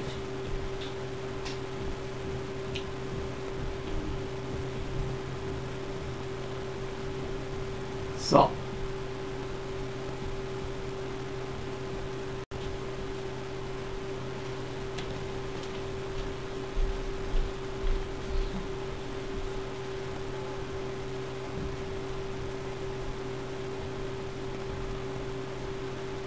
wir machen ein simples kleines Schiffchen hin.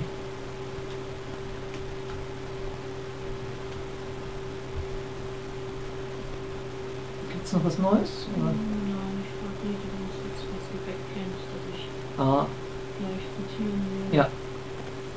So, jetzt mache ich einen ruhigen Meereshorizont. Wie mache ich den? In der Regel, um Wellen anzudeuten, ist das einer der seltenen Fälle, wo ich strichle. Ich zoome mal näher ran, dass ihr das sehen könnt. Das hier zeigt mir ganz leichten Seegang. Wenn ihr hier hinschaut, dann seht ihr, dass in der Vergrößerung effektiv so eine Form entsteht. Dadurch, dass ich neu ansetze. Und die deutet mir so ganz, ganz leichte Wellen an. Und es darf ruhig mal, so wie hier, auch ein bisschen aufbrechen. Warum sollte die Meeresoberfläche nicht mit einer schwarzen Linie durchgezogen werden? Ja, da oben ist Himmel. Und den spiegelt es nach unten. Das heißt, die Trennlinie ist relativ gering. Und vor allem, wenn da noch irgendwie Sonnenlicht spiegelt, dann sollte der Horizont ein bisschen aufbrechen. So, und egal was ihr jetzt hier für Texturen reinsetzt nachher, ähm, es wird immer aussehen wie ein Schiff, das auf einer bedruckten Tischdecke steht. Auch wenn wir das weiter ausmalen. Das ist nicht das Entscheidende. Das Entscheidende ist, wie das Schiff mit dem Wasser interagiert. Nun ist mein Schiff hier ja dunkler, so normalerweise ist der Rumpf dunkel. So. Und das Wesentliche ist,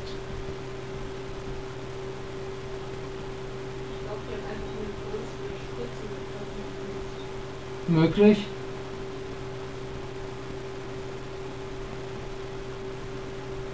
dass ich eine Spiegelung des Schiffs im Wasser habe, ähm, das reißt mehr raus, als irgendwie Texturen im Wasser es rausreißen können. Also achtet vor allem darauf, dass sich Licht und Schatten da drin irgendwie mitfangen. Spiegelungen von einem Schiff können sich über Strecken von mehreren Kilometern hinwegziehen, je nach Seegang. Wenn eine Welle hier drüben richtig steht, dann spiegelt sie mir den Rumpf von dem Schiff rüber und ich sehe da noch kleine Restchen von der Spiegelung. Wenn ich überhaupt nichts habe, was ich spiegeln kann, kann das Meer auch nicht gut dunkel sein. Es müsste dann eine Stelle erwischen, an der sich eben nicht etwas spiegelt, sondern quasi der Meeresboden von unten durchdringt. So, und das schauen wir uns jetzt mal an, wie das von der Form her aussieht.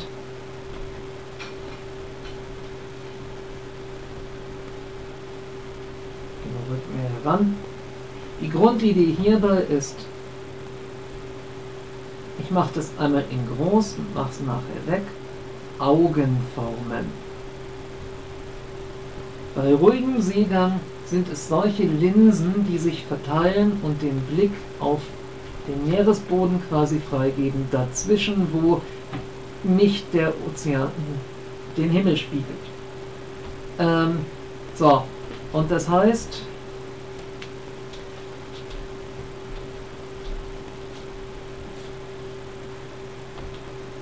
in unregelmäßigen Abständen Andreas meint, auch war.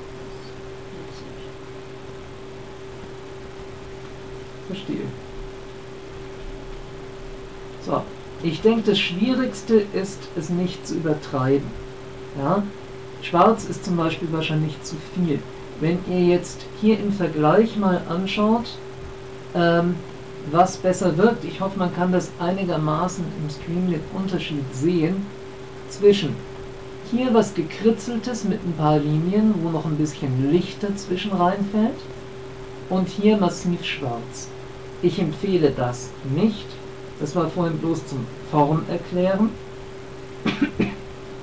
Keine Sorge, es ist kein Corona, ich habe nur einen trockenen Hals. Ich rede ja heute schon lang, weil ich einen Workshop mehr gehalten habe. Ich werde am Ende des Tages heute vier Stunden Workshop gesprochen haben. Ich trinke mal ganz kurz was.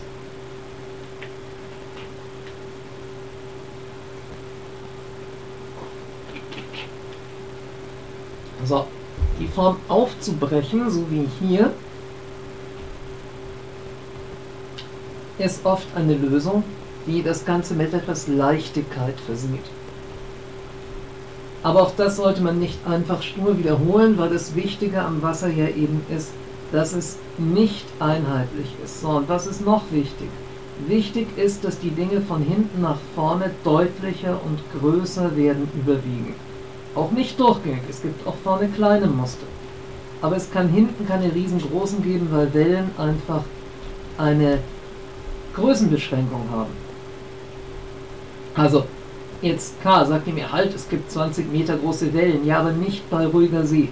Also hier, wo ich bin, müssen die Dinge nach vorne größer werden und auch eine 20 Meter Welle sieht von nahem betrachtet doch ein bisschen größer aus, als wenn sie 8 Kilometer entfernt ist.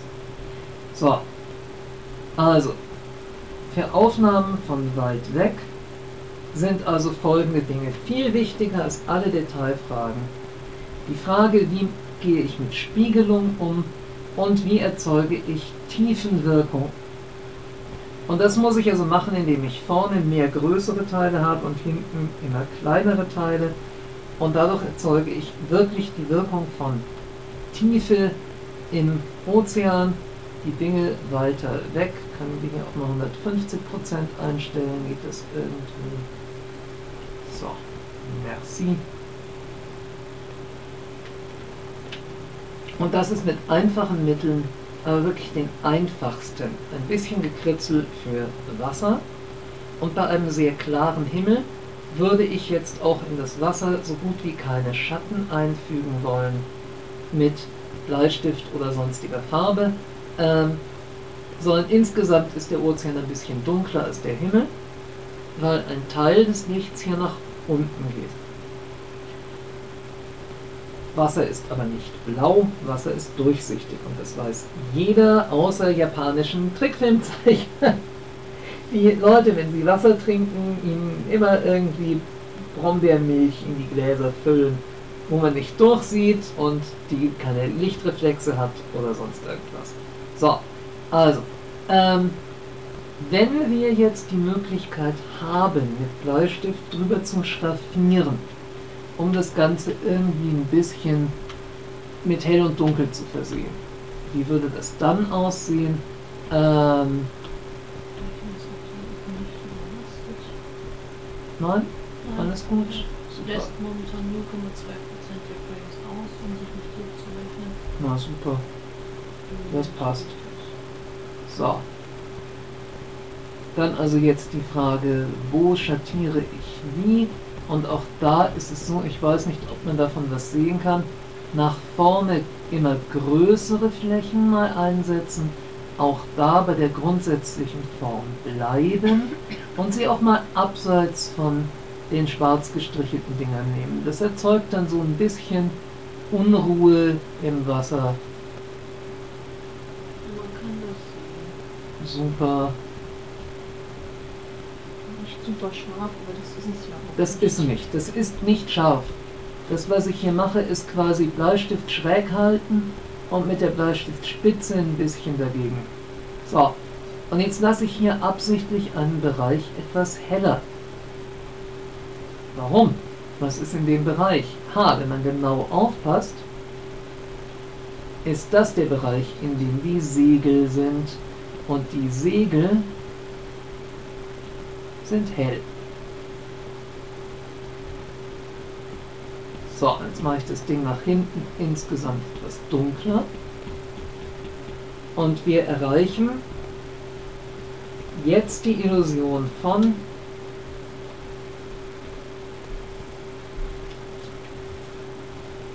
Das Schiff spiegelt sich sowohl hell als auch dunkel. Bin ich auf dem richtigen Film? Nein, ich hab's jetzt doch. Ah, ich wollte eine eigene Ebene machen. Na gut, sorry dafür. Jetzt geht's nicht weg. Uhu. So. Ähm. Alles klar. Kriegen wir trotzdem irgendwie hin. Also. Das sind schnelle Bleistifttechniken, um ruhiges, stilles Wasser hinzukriegen. Also nicht stilles Wasser wie in Plastikflaschen und so, aber ähm, das war ja auch gar nicht die Frage. Die Frage war ja hier nach Ozean und Co. So, jetzt gehen wir mal eine Stufe höher rauf und geben ein bisschen Wind und ein bisschen Wellenbewegung rein. Und dann ist mein Vorschlag immer, ähm, umgekehrte Vögel hinmalen. Vogel ist ja das hier.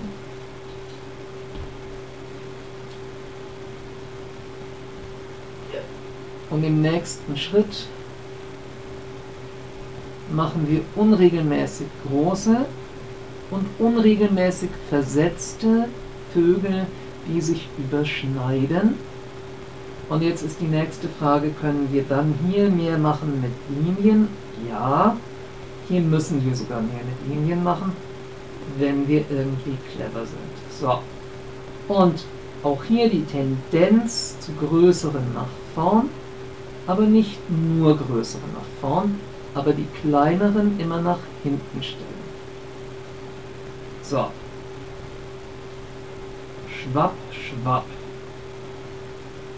Und ihr dürft die Rücken ein bisschen asymmetrisch machen, dass die zu einer Seite hin neigen, weil der Wind da drüber peitscht und die mitzieht. So, und nun haben wir also Wellentäler und Wellenberge. Wenn wir uns das also im Profil anschauen, dann sieht das eben quasi so aus, wenn wir hier so durch einen Schnitt machen würden. Ähm und jetzt müssen wir das irgendwie schattieren. Und hier ist die Grundidee, das hier auf der Seite, die dem Wind abgewandt ist. Also in unserem Fall kommt der Wind hier von links, so wie das Licht von links kommt. Und das heißt, auf der Seite ist es, wo ich mit möglichst glatten parallelen Linien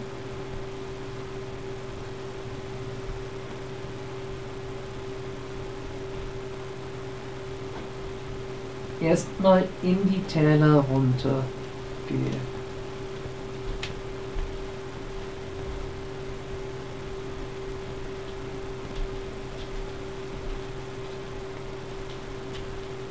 Ihr könnt theoretisch das Ganze akzentuieren, indem ihr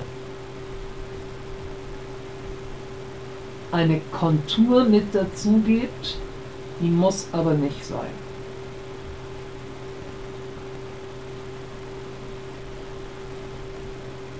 So. Und hin und wieder mache ich dann einfach Schatten rein, die nicht zu einem Berg gehören, sondern einfach mal in einem Tal drin, so dass mir das irgendwie gefällt. So, und wenn der Wind ein bisschen harsch ist, dann ziehe ich auf der Seite wo der Wind herkommt, mal noch so ein paar Linien mit rein, die so ein paar kleine Krüsselwellen quasi imitieren. Vor allem wenn ich näher komme,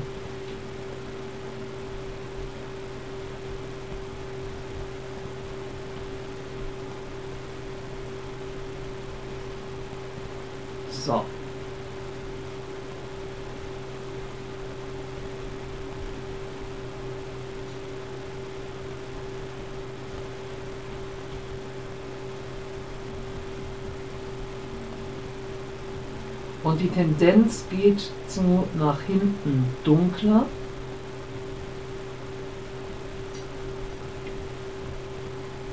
Aber natürlich eben auch nach hinten kleinteiliger. Und damit erzeugen wir wieder die Illusion von Tiefe. Denn dunkle Dinge wirken immer tiefer und helle Dinge wirken näher.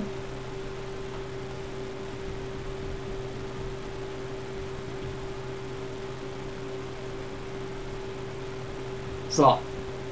Und jetzt ist der See dann schon ein bisschen rauer, aber das ist gutes Fahrtwetter so.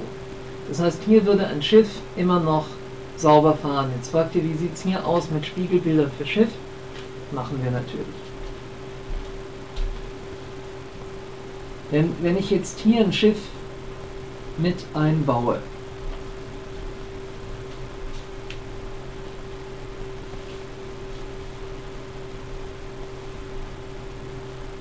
Dann Nummer 1 muss die Interaktion daraus bestehen, dass ich mir sehr genau überlege, hinter welchen Wellenbergen sich mein Schiff befindet und vor welchen anderen. So.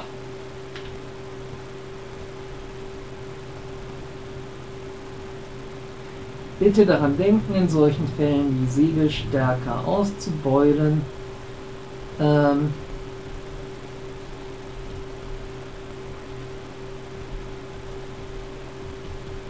schließlich haben wir ja Fahrt aufgenommen.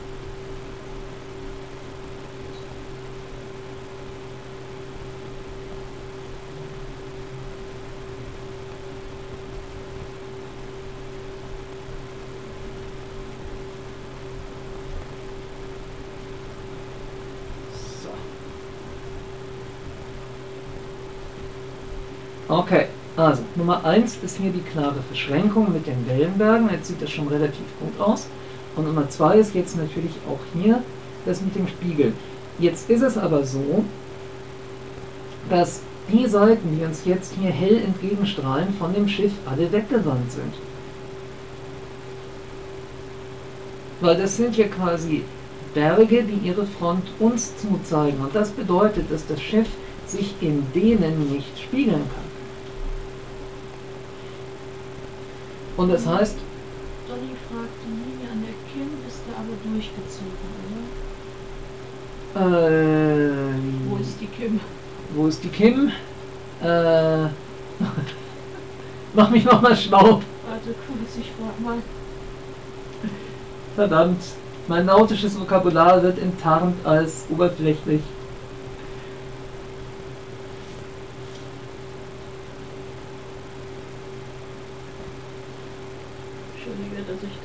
Nein, alles gut. Ist ja wichtig. Es kommt ein Buchs zurück.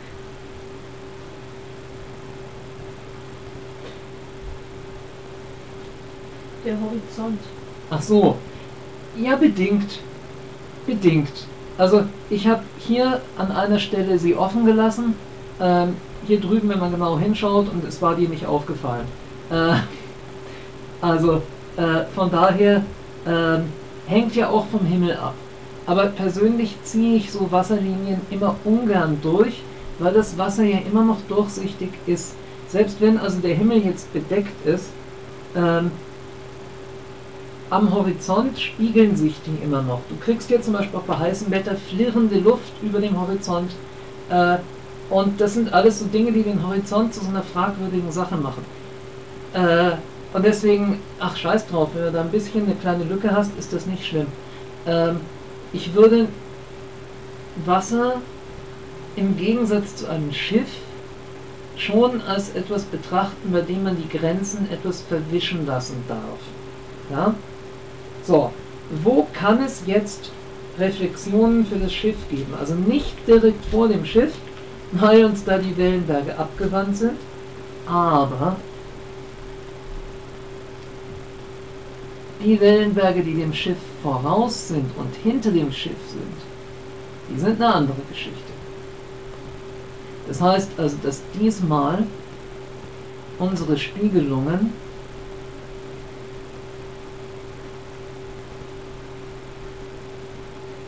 das Schiff so ein bisschen auslassen. Was wir aber zum Beispiel kriegen, ist direkt am Schiff ähm, leuchten die Wellen natürlich ein bisschen von dem Schiff durch. Das heißt, da werden die so ein bisschen transparenter und ähm, ich kann aber direkt vor dem Schiff eben nichts haben. Ja? Geht halt nicht.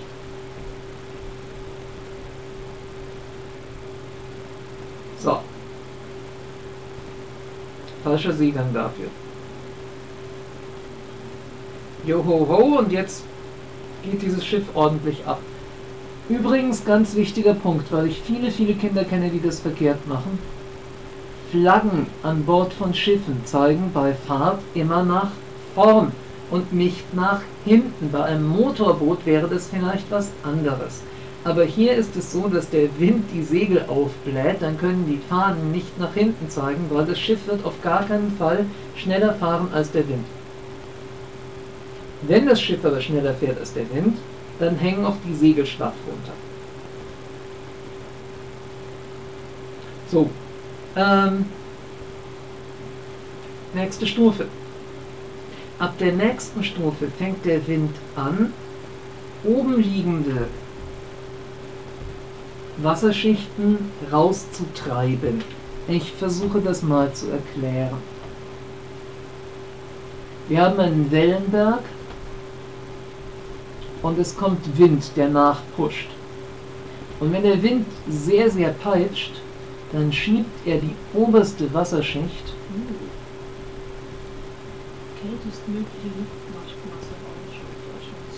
Okay. Also Leute, macht euch darauf gefasst, es gibt nochmal einen Kälteeinbruch. Ähm, der soll wann kommen? Ende der Woche? Montag, Am Montag. Beginn der Eisheiligen muss sogar mit Schnee gerechnet werden. Okay. Es hat selten im Mai geschneit, aber ich erinnere mich, als ich ein Kind war, äh, unser letztes großes Osterfest, das war noch in Auderreich da 10, das muss 84 gewesen sein, ähm, hatten wir Schnee an Ostern. Wir hatten Eier versteckt und es war ein spätes Ostern, das war im Mai. als ich 14 war, hat es auf der Fahrt nach Kuhheim geschneit, ich mich im Mai. Ja. Vor 16 Jahren. und vor 35 Jahren. Ja, also alle 16 Jahre, 17 Jahre rum gibt es mal so einen, so Einbruch. Äh, ja, passiert. So, ähm, was passiert jetzt noch? Die aller, alleroberste Schicht zerstiebt deswegen zu Gischt. Das sind kleine Tröpfchen, die im Wesentlichen aussehen wie Nebel. Und das heißt, ab dem Punkt kriegen wir auf freier See Gischt. So, Donny stellt ganz richtig fest, die Eisheiligen sind ja auch erst am 15. vorbei. ja. Blöd für die Leute, die jetzt gemeint haben, sie Gärtnern los. Ja, schade das. So, also, das heißt, jetzt haben wir grundsätzlich mehr Wellengang, als uns lieb ist. Wir kriegen Kanten begleitet von Schaumkronen. Und hier ist jetzt so, wenn wir hier nicht mit hell und dunkel arbeiten, dann haben wir aber ein Riesenproblem. Ähm, weil jetzt ist die Gischt dunkler als die drumherum liegenden Wellen und das kann nicht sein. So. So.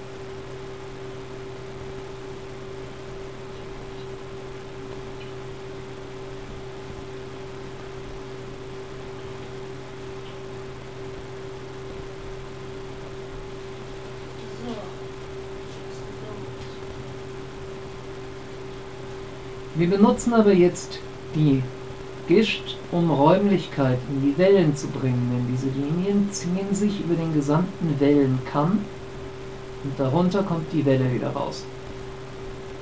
So, und auch hier gilt, nach hinten natürlich kleiner werden.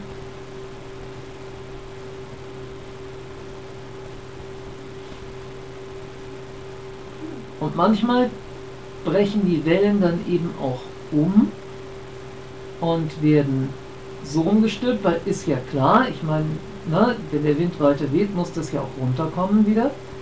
Und dann kriegen wir ähm, quasi die Gischt beim Auftreffen. Roddy, sollen Donuts untergehen? Donuts sollen eigentlich schwimmen, Ja. wenn sie gar werden. Im Moment sitzt er am Fußboden. Dann würde ich ihn vom Fußboden vorsichtig lösen, bevor er anbrennt. Ah, nein, ich helfe am Schwimmen. Super, Hat sich. erledigt, die Donuts sind gerettet, sie garen, gehen auf und treiben nach oben. Ja, so kennen. So.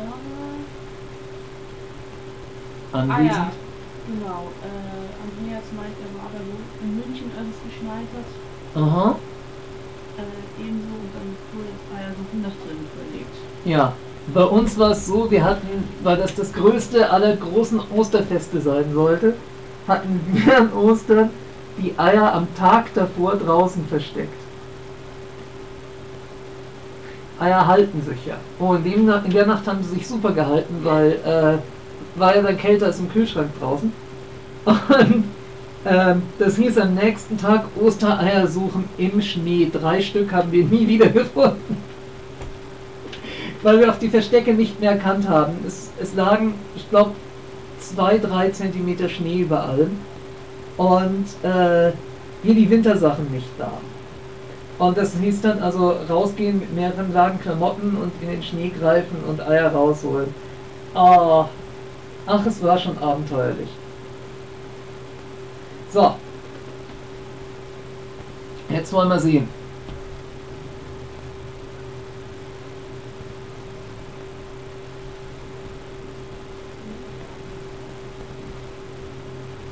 Jetzt ist nichts mehr mit parallelen äh, Schattenlinien, sondern jetzt unterstreichen die den Verlauf des Wassers und zwar möglichst unruhig.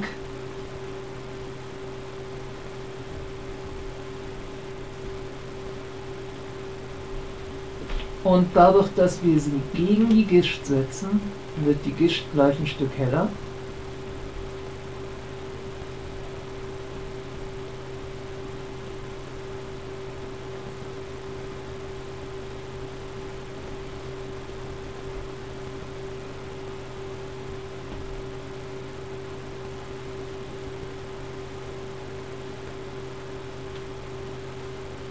So.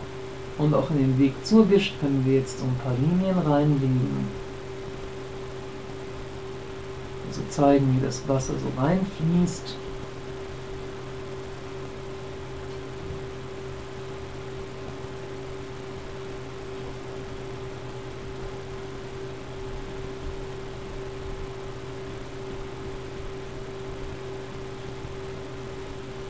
Ich habe es ja eigentlich gar nicht so mit Nostalgie, aber dieses Osterfest war einfach krass.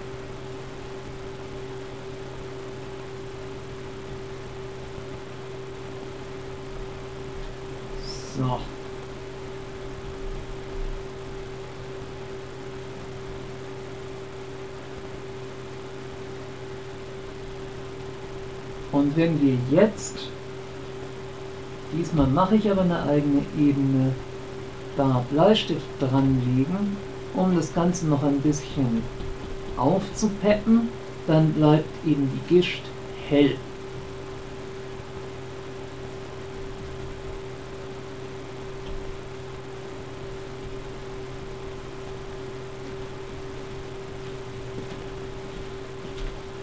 Hell habe ich gesagt.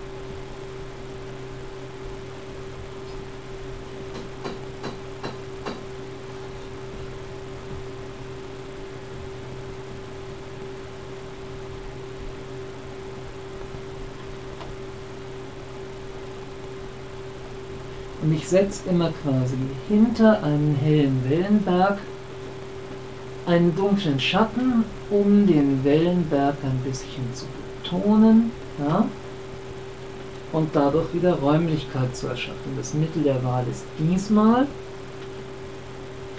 ähm, Kontrast.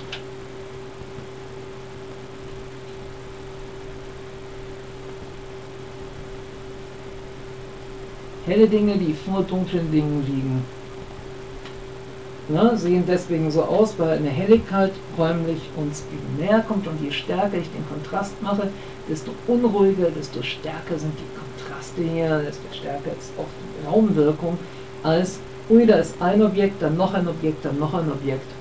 Und das gibt uns die Illusion von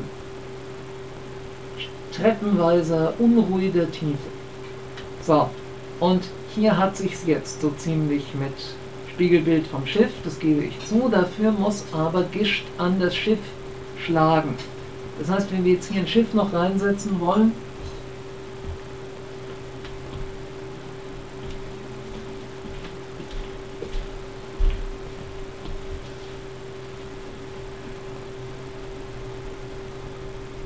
suche ich mir wieder aus, hinter welchen Wellenberg möchte ich das Schiff setzen.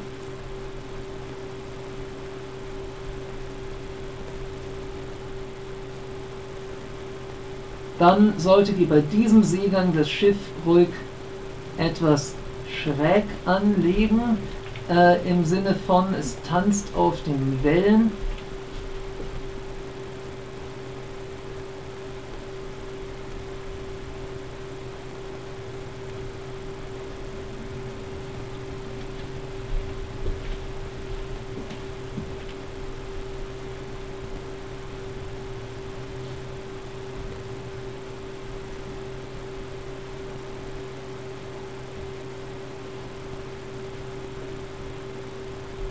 So. Jetzt dürfen die Segel sich unregelmäßig bauschen. Sie dürfen also äh, auch flattern, weil der Wind ja nicht, aber vielleicht nicht gar so viel flattern. Hallo, sag mal. Äh, weil der Wind ja jetzt unregelmäßig von verschiedenen Seiten weht und an den Segeln zerrt. Ja, ähm, es darf auch mal ein Seil reißen, das ist natürlich also höchst gefährlich, wenn sowas passiert, aber es darf, wenn das ein extremerer Sturm ist, gerne auch mal ein Seil gerissen sein. Ja? Ähm, so.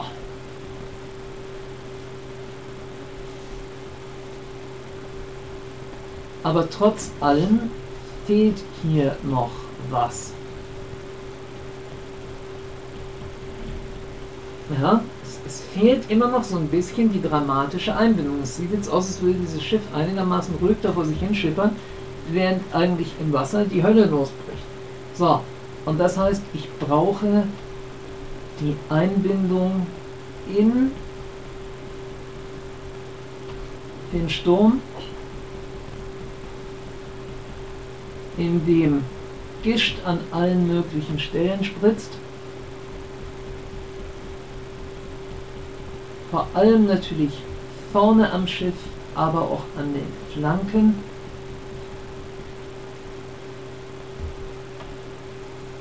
Und es darf auch eine Welle gegen das Schiff krachen.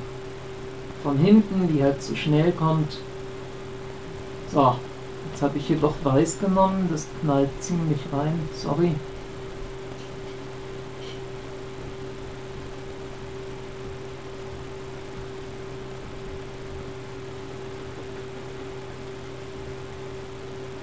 Und ja, ich darf natürlich auch an der Stelle, selbstverständlich, die Gegend vor dem Schiff nochmal ein bisschen dunkler machen. Das bindet das Schiff dann ganz gut ein.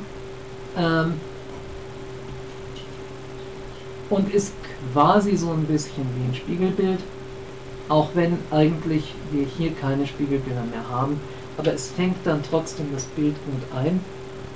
So, und ja, vielleicht ist das zu viel in den Segeln drin, aber es geht jetzt gerade um das Wasser. Ja? Bei den Windgeschwindigkeiten muss das Wasser so ein bisschen reinhauen. Sonst äh, hat das hier keinen Bauch hier. Donny ähm, schreibt, ab einem gewissen Seegang würde man die Segel retten. Wahrscheinlich. Ich denke mal, die sind da gerade dabei, dabei ist ihnen das Seil ausgekommen, das Tau ausgekommen. Ja. ja. Hoxai. Ja.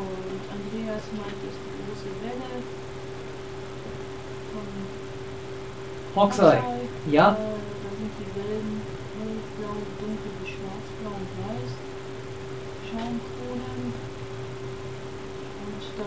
bloß Ruderer. Ja, also Segeln war bei den Japanern nicht so. Die Japaner hatten Segelschiffe, ähm, das hatten die sehr wohl, aber erst relativ spät und das war auch relativ umstritten, äh, weil der Punkt war, dass sie da von den Portugiesen, glaube ich, sich haben Ratschläge geben lassen und das war ja hochgradig umstritten, der Austausch von Informationen mit den Barbaren. Ja? Ähm, genau. Ja, also, ähm, noch mehr Seegang und ich empfehle in der Tat, äh, sich Hoxeis äh, Dings äh, berühmte große Welle anzuschauen. Es ist gut, dass Andreas die bringt. Die ist immer ein hervorragendes Beispiel für äh, starken Seegang, weil das echt um einen Sturm geht. Ähm, aber das ist so das, was ich bisher gebraucht habe. Ähm, ich hoffe, dass das schon mal was hilft. Äh, gibt es noch andere Wasserkörper, über die du gerne mehr wüsstest, Donny. Weil jetzt waren wir beim Meer. Ich denke, das sind so die wichtigsten drei Stufen von äh, Seegang, über die wir da gesprochen haben jetzt. Ähm, oder gibt es noch ganz konkrete Fragen? Ich meine, ich kann ja auch schnell nachrecherchieren, wenn das ist.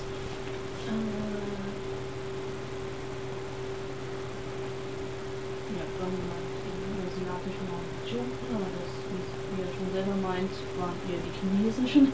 Ja.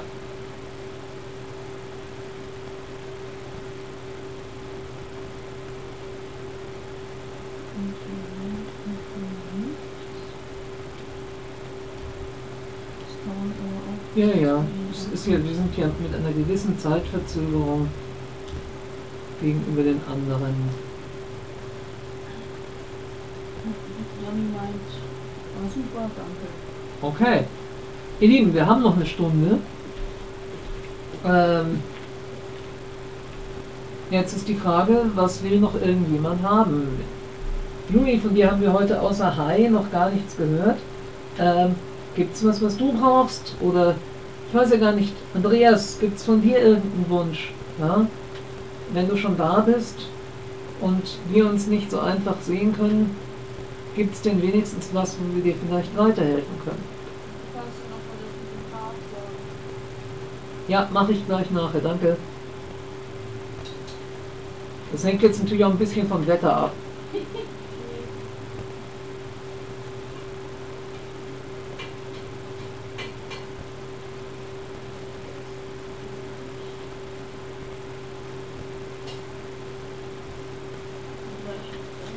Alles gut.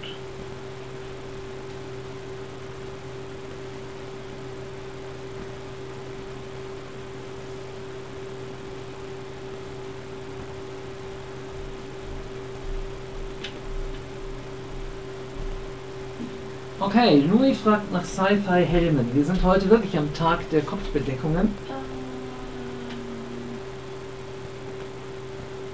Ja, und wenn sonst noch Zeit ist, dann an Deck riechende Wellen. Sich an Deck brechende Wellen.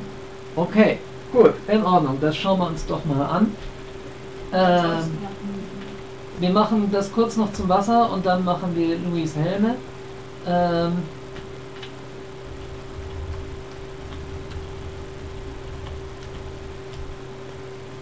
okay, ich werde mal kurz ähm.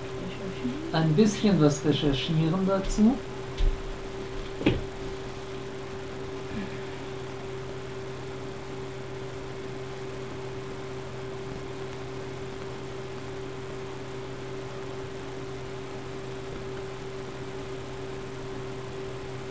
Okay, also gehe ich recht in der Annahme, dass es um Wellen geht, die über die Reling drüber spülen und dann können uns allenfalls eine sich an Deck brechende Welle ansehen. Allenfalls. Okay. Gut. Also, ich habe hier ähm, ein Bild gefunden. Das äh, trifft es ganz gut und ich werde mal schauen, ob wir das irgendwie treffen können. Keine Ahnung. Aber ich habe es noch nie probiert. Ja? Es ist neu. Neu finde ich gut. So. Und dann kümmern wir uns um Sci-Fi-Helme. Okay, wir legen uns bei starkem Seegang mal das Schiff irgendwie schräg. Ne? Ähm, vielleicht nicht gar so schräg, aber zumindest mal irgendwie schräg. So, das was nun passiert ist. So, wie machen wir es?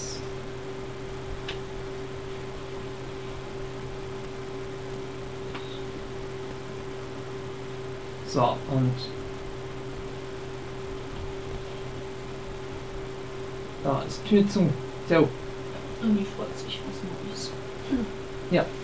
okay. Also, das Schwierigste an dieser Sache ist, dass wir ja weiß gar nicht gut zeichnen können. Ja? Wir machen erst eine kurze Vorskizze, um zu kapieren, was passiert, und dann überlegen wir uns, wie wir das lösen können. Ähm, es kommt Wasser hier rüber gespritzt, löst sich in Schaum auf, das ist das Brechen, ja, und schwappt als Schaumgekrüssel über Deck. Das ist das grobe Layout, das wir hier haben. Dabei spritzt es aber auch relativ schnell und das heißt, es wird an einigen Stellen sich auch ziemlich auflösen äh, in kleine Spritzer-Dinge und die sind immer kacke zum Zeichnen. Ähm, warum sind die so schrecklich? Weil sie der 30%-Regel ganz derbe widersprechen. Ein kleines Tröpfchen, das ich mit einer dicken Linie umgebe, ist nie weiß. Ich muss mir also dazu was einfallen lassen. So, und wenn ich das mit Bleistift machen soll, ähm, ha, schwierig. Ähm, ich würde an dieser Stelle fast zu einem Trick raten, wenn es mit Bleistift gehen soll, ähm, den ich von einer Schülerin gesehen habe, die hat mit Uhu Tröpfchen aufs Blatt gemacht und dann drüber schraffiert. Und dort, wo der Uhu ist, hält dann der, äh, der Bleistift nicht. Das heißt, du kannst das Deck dunkler machen und quasi äh, echte Tropfen da haben, äh, wo du die Tropfen haben willst. Das fand ich ganz lustig. Die andere Methode, die ich gerne benutze, ist, ähm, man nehme sehr dünnes Deckweiß, angemischt mit Wasser, nehme einen Pinsel, ich habe einen sehr kleinen dafür genommen, nehme einen Bleistift ähm, und schlage den Pinsel gegen den Bleistift in der Richtung, in der die Spritzer sind. Auf die Art habe ich die Sterne in dem 100 Seiten Star Wars Comic gemacht. Äh, sehen toll aus. Ähm, hat sich also echt gelohnt und die meisten davon waren wirklich Pünktchen und keine langgezogenen Tropfen. So, also wir wissen jetzt ungefähr, was passiert. Jetzt schauen wir, wie wir es zeichnen können.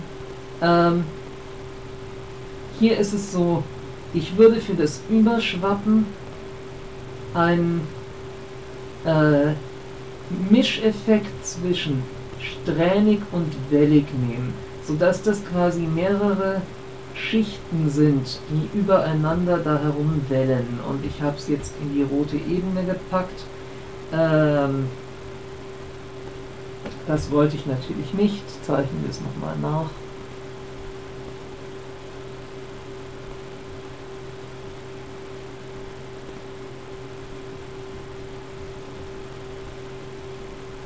So, jetzt.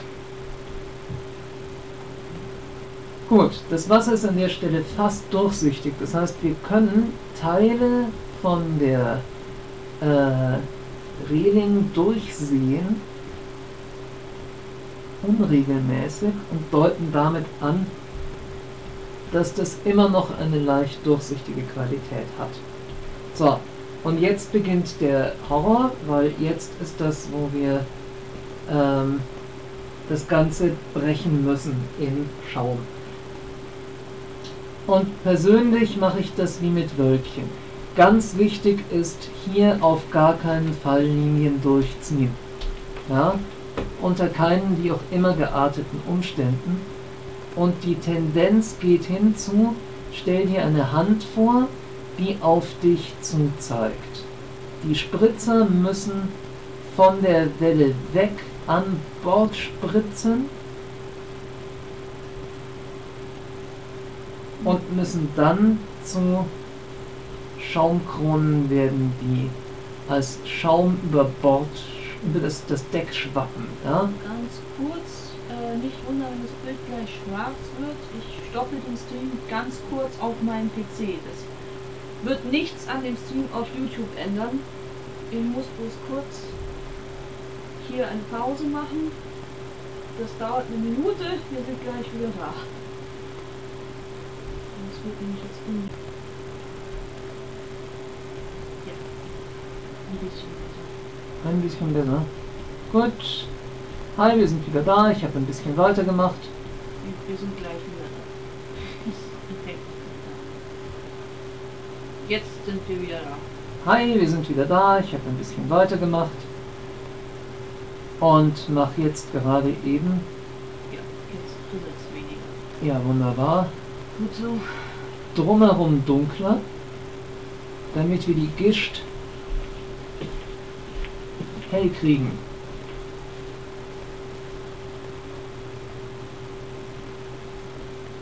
So.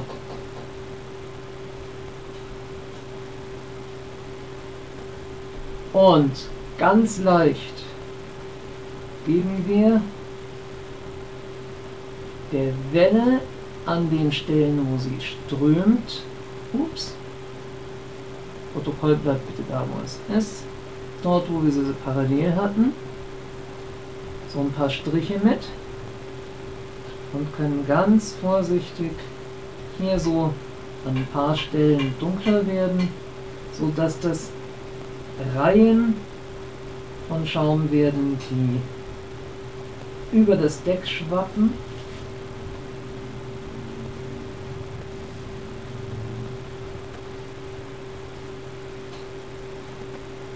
Quasi Welle um Welle um Welle. Und mit dem denke ich, kann man sich erstmal zufrieden geben. Ich glaube, dass das, oder? Was meinst du, Corinna? Sieht nicht schlecht aus. Hurra! Hier ist der erste Donut. Wow! Wir haben italienisches Gebäck im Haus. Naja, noch ist es nicht fertig. Es ist gebacken. Es ist frittiert. Muss es jetzt noch gebacken werden? Nein. Dann ist doch fertig. Also klar, du kannst noch dekorieren und so, aber... So, also, ähm, ich hoffe, dass das mir ein bisschen eine Inspiration gibt. Äh, und dann machen wir jetzt noch ein bisschen Helme. So.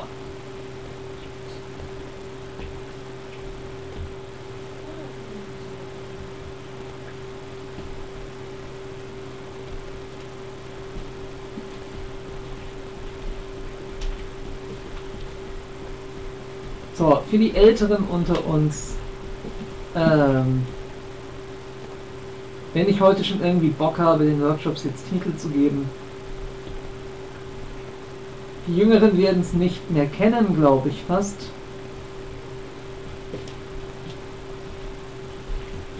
Kennst du das noch, Karina?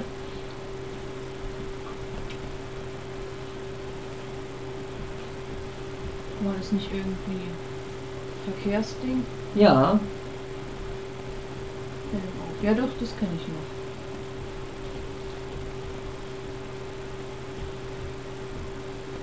So. Ähm, natürlich hieß das damals anders. Es ging um eine äh, Figur, die habe ich noch als Puppe kennengelernt und ihr kennt sie vielleicht, als ihr noch klein wart, als Zeichentrickfigur. Ähm, sah aus wie ein Zahnpasta-Männchen oder ein Zahn mit einem Motorradhelm. Ich habe nie verstanden, was die Figur sollte. Äh, ich fand ihn immer doof, aber ich habe heute jetzt irgendwie gerade Bock gehabt, Titel zu geben. So, also, ähm, ja, was können wir dazu sagen? Ähm, fangen wir mal damit an. Ein Helm hat grundsätzlich erstmal natürlich äh, einen Kopf zu bedecken und es gilt Form follows Function.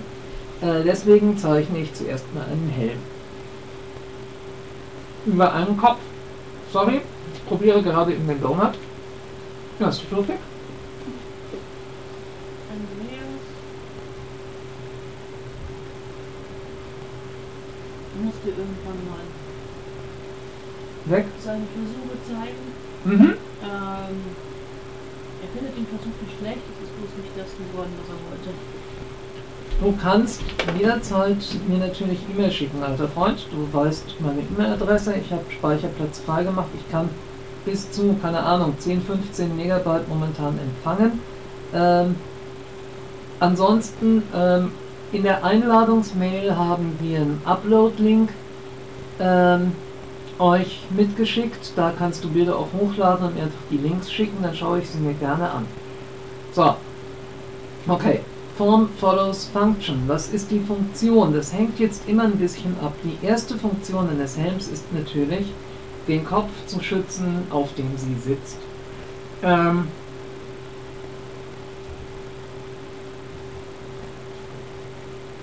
da wir bei Sci-Fi-Helmen sind, müssen wir auch bedenken, manchmal ist auch die Funktion eines Helms eine Zusammengehörigkeit, zum Beispiel zu irgendeiner militärischen Einrichtung oder sowas, zu, oder einer, einer Crew zu bedeuten.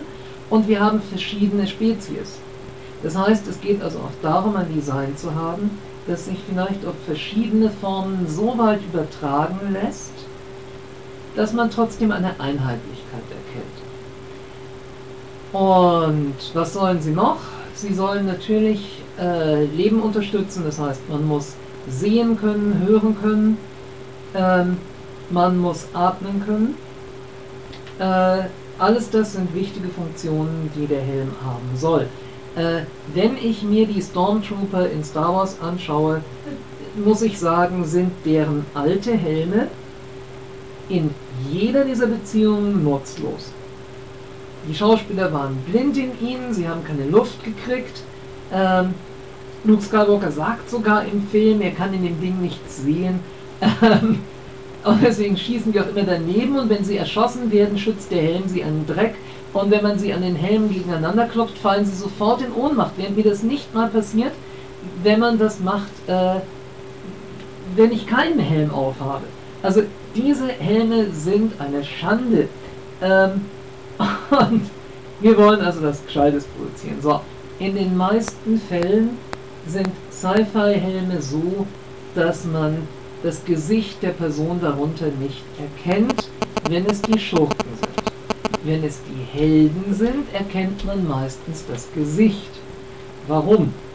Äh, weil ich die Helden auseinanderhalten können muss. Ah ja, Helmi meint Donny. Ja, so richtig, so heißt das die. Ja, ich wollte meinerseits nicht in den, äh, in den, den Urheberrechtskonflikt geraten und so. Ja, vollkommen richtig.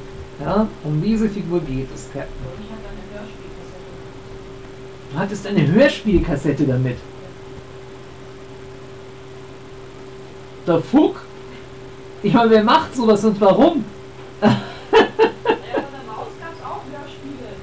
Ja, von der Maus ist das irgendwo noch nachvollziehbar, weil da kenne ich wenigstens zwei Stimmen. Nur nicht die von der Maus und dem Elefanten, aber zumindest doch die von den Sprechern aus der Maus. Ähm, okay, also, zurück zu unserem Ding. Ähm, gerade wenn wir äh, Science Fiction machen ähm, mit, mit ähm, Schauspielern, für die wir teuer bezahlen, wollen wir normalerweise ihre Gesichter sehen. So, und was heißt das? Das heißt umgekehrt, dass wir Helden nicht in Uniformen packen können, bei denen die Sci-Fi-Helme kein Gesicht erkennbar machen. Das heißt, die guten Kerle haben aus Kostengründen normalerweise ein Gesicht draußen. Wann ist das nicht? Power Rangers.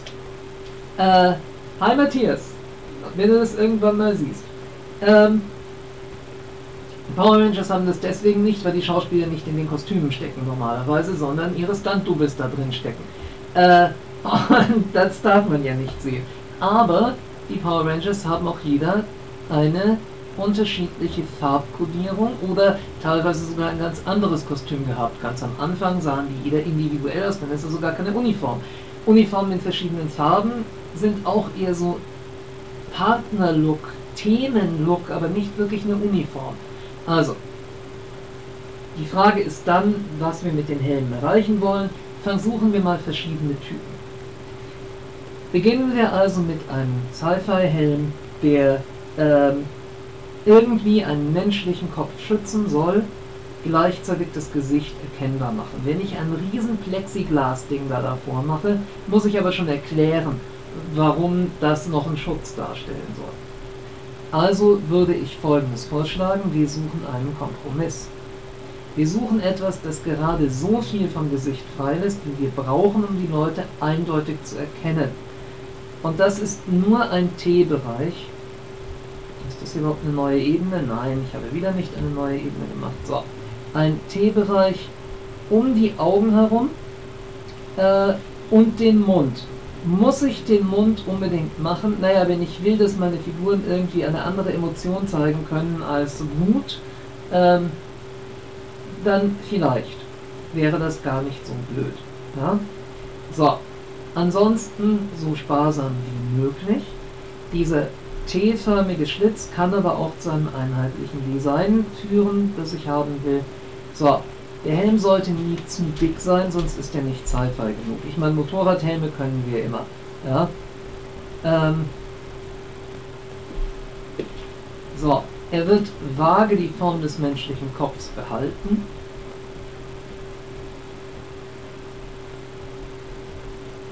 So, muss er, das ist eine wichtige Frage, ähm, muss dieser Helm in der Lage sein, windschnittig zu sein. Hängt davon ab, je nach Story. Ähm, was ich euch versichern kann, ist, dass viele Helme, die wir in Sci-Fi gesehen haben, siehe eben Stormtrooper und Co., völliger Quatsch sind, weil sie für den Einsatz auf irgendwelchen Planeten gedacht sind, aber dann eben einen Windwiderstand haben, wo ich sage, boah, ab Windstärke 8 fällt der Typ um ähm, und kann auch nicht mehr ankämpfen gegen irgendwas. So, also, hier drin werde ich ein Gesicht irgendwie halbwegs erkennbar haben. Ähm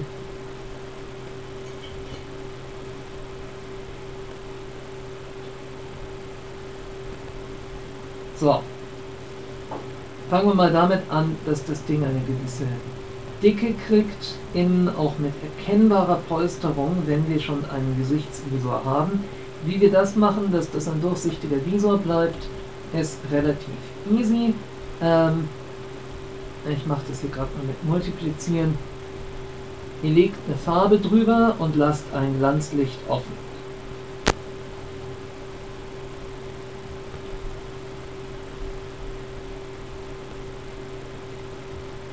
Tada, vielleicht auch ein zweites Glanzlicht rein, wenn man es gerne übertreiben möchte. Jetzt ist das hinter einer Platte. So, ähm, also, ich erkenne eine Polsterung drin, indem ich eine Innenwandstärke mache. Äh, ich finde sowas cool, wenn man das hat, weil das wenigstens betont, dass man irgendwie äh, einen Schutz wollte, als man das Ding gebaut hat. So Cosplay-Helme, ähm, die nur dafür gebaut sind, dass die Leute drin nicht schwitzen ähm, oder nicht mehr als notwendig, äh, wollen wir ja nicht. Wir wollen ja hier glaubhaftes Zeug. So, was können wir noch brauchen? Ähm, Sci-Fi-Helme sollten irgendwie die Möglichkeit haben, äh, sich selbstständig in Teilen zu öffnen, weil das einfach cooler ist, als wenn sie es nicht können. Ich bin jetzt auf der falschen Ebene gelandet gewesen. So. Und das heißt, wir kriegen irgendwelche Linien drauf, die andeuten, wo das Ding nachher aufklappen kann oder so. Ähm hier ist immer die Frage nach, wenn es dann offen ist, wie sieht das denn aus vom Design her? Nun, darüber können wir uns dann immer noch Gedanken machen, ähm, wenn wir es tatsächlich mal aufklappen würden. Aber ja, auf jeden Fall im Auge behalten, ganz lange gerade Linien sind sehr, sehr langweilig und die wollen wir nicht wirklich haben, äh, weil Design. Was haben wir noch? Design ist zu 80% Wiederholung, Wiederholung, Wiederholung, wenn wir uns daran erinnern. Und das heißt, wenn wir eine bestimmte Linie mal festgelegt haben, können wir sie wiederholen. Ich habe hier eine T-Unterbodenlinie festgelegt und sie in abgeschwächter Form hier oben im Helm wiederholt. So, was können wir noch machen? Kurven verschlanken das Design und lohnen sich daher immer irgendwie zu haben. Technik hat meistens irgendwelche unnützen kleinen Noppen, äh, gerade im Comic-Bereich, ja, ist gerne die Lochplatte ähm, ein total gefragtes Designelement, wobei das sicher nicht unbedingt das Hilfreichste ist, aber irgendwo außen mal so ein kleines bisschen was anzudeuten, parallele Linien, die nach Luftschlitzen aussehen oder kleine Löchlein, äh, lohnt sich oft. Ähm, so, und was brauchen wir noch? Wir brauchen die Möglichkeit, dass sich Dinge ausklappen können, wie zum Beispiel Lampen etc. pp. Äh, das heißt, auch hier deuten wir noch irgendwelche kleinen Klappen an und können dann nachher da was ausfahren lassen. Ähm, so. Und jetzt ist mir das Design noch ein bisschen zu langweilig, weil alles so rund ist. Und dann kommen wir sehr, sehr schnell in den Verdacht, oh, das ist hier nur ein abgekupferter Iron Man. Gerade auch, weil dieses T-Muster hier bei ihm ja in ähnlicher Form auch drin ist. Und deswegen werden wir jetzt was tun, was von diesem Ding abweicht. Und zwar überlegen wir uns,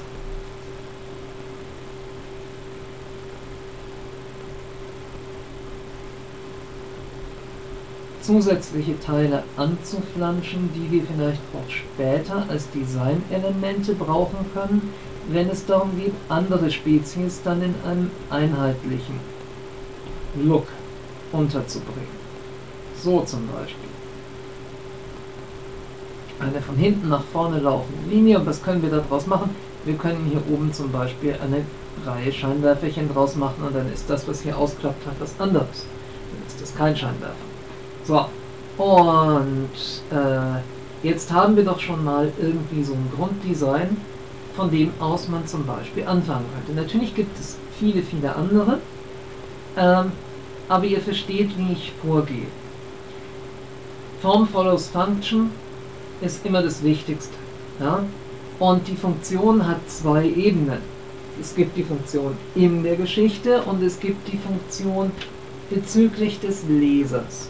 Die Figur wiedererkennbar machen, die Figur aber auch zu einem Team zu, gehören zu lassen ähm, sind so Dinge, die gehören da dazu. Aber ich würde immer zuerst die in der Welt Logik betrachten und mir nachher Gedanken darüber machen, was das bedeutet. Wenn zum Beispiel es keine Möglichkeit gibt, weil alle Designs schon irgendwo schon mal waren, die Helden noch so zu machen, dass man sie auseinanderhalten kann, das heißt, die Helden sind alle verwechselbar, dann muss ich mir dringend für den Comic überlegen, was hat das für diese Welt für Konsequenzen. Das war zum Beispiel ein Problem für die Clone Wars in Star Wars, wo sie dann gemeint haben, sie wollen unbedingt ein Team von geklonten Soldaten in identischen Rüstungen zu einer äh, Hauptfigurenriege irgendwie machen, so Nebenhauptfiguren. Bla.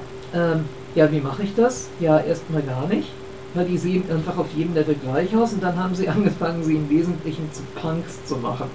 Die kriegen also verschiedene Frisuren, wobei also dann hier Tattoos dazu kommen und was weiß ich. äh, wie das halt so ist im Militär. Ja? Und äh, dann haben sie kleine Änderungen an ihren Uniformen, äh, die kein anderer hat, sondern nur die. Äh, warum man ausgerechnet diese Individualisten zugelassen hat als die, die Top äh, Elite-Einheit, äh, egal. Ja? Völlig egal. Erstmal hat man sie da. So. Ähm, gut, jetzt habe ich diesen Helm und jetzt geht es für mich um die Frage, kann ich innerhalb von Sci-Fi diesen Helm mit diesem Design ähm, irgendwie äh, ja, weiß nicht, ummünzen auf eine andere Spezies. Ja? Und äh, das machen wir jetzt einfach mal so, dass ich mir den hier merke. Ich halte den mal in die Nähe, damit ich die Details nicht immer wieder nachblättern muss. So, und wir belegen mal ein anderes Alien.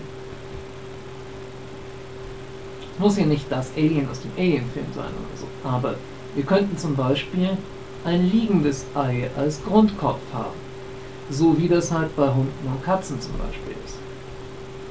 So, und an dem messe ich jetzt, wie gut ist mein Design. Nehmen wir auch an, wenn wir schon bei Hunden und Katzen sind, dass meine Kreatur in der Tat noch Ohren hat, die aufgestellt gehören. So, und jetzt wollen wir denselben Helm da drauf liegen. Okay, fangen wir an. Ich habe hier sicherlich irgendwo Augen, die aber vielleicht auch mehr an der Seite liegen, wie das bei Hunden und Katzen halt so ist. Ich werde vorne irgendwo ein Maul haben. Und dann habe ich das vorgelagerte Kinn dort. Und plötzlich ist dieser kleine Kasten für mich interessant geworden, den ich bei dem anderen vorne ans Kinn gemacht habe, weil er hier jetzt als betonteres Kinn eine Art Schutz darstellt an einem sonst sehr exponierten Maul. So, dann habe ich eine Linie hier hoch. Und was habe ich noch? Ich habe den Kasten mit den Lichtern und stelle fest, haha, in den kann ich auch bequem die Ohren unterbringen, wenn ich das möchte.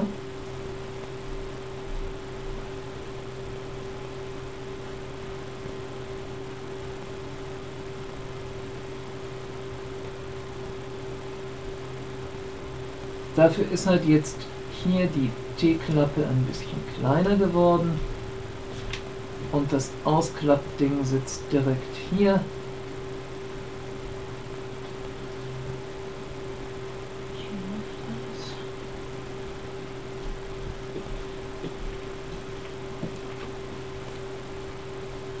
So, und wir machen die Polsterung rein.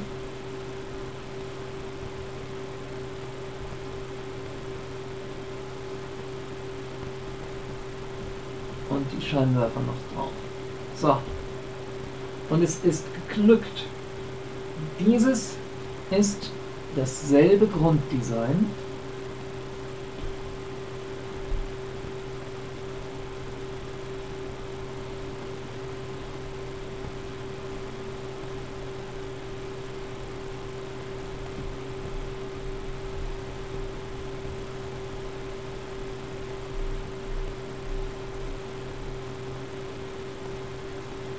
So.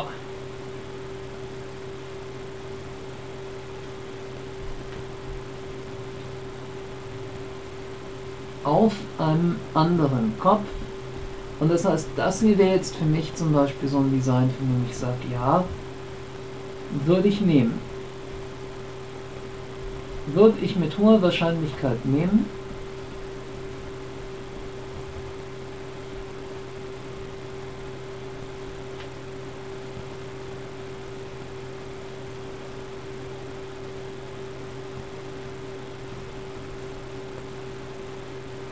So.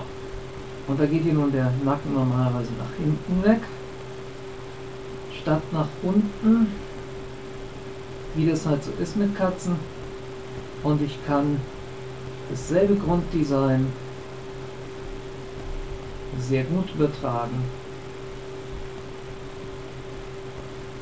Die beiden gehören definitiv zur selben Truppe, ähm, sind aber auch deutlich am Umriss unterscheidbar. Und äh, damit habe ich eine Teamzugehörigkeit, kann die Figuren unterscheiden, kann ihre Gesichtsausdrücke erkennen. Viel mehr kann ich mir eigentlich gar nicht wünschen von einem Helmdesign. Ähm, so, wenn es um Helden geht. Wenn es um Schurken geht, ist die Sache anders. Warum sind Schurkenhelme normalerweise so, dass ich die Schauspieler darunter nicht erkennen kann? Ähm, das liegt an der einfachen Überlegung, dass äh, einen Menschen zu töten, den ich sehen kann, äh, das lässt die Helden nicht gut aussehen. Aus dem Grund wurde zum Beispiel in allen Fernsehserien der 80er und teilweise der 90er Jahre, äh, gerade für Kinder, so Zeichentrickserien, wurden dann laufend Roboter draus.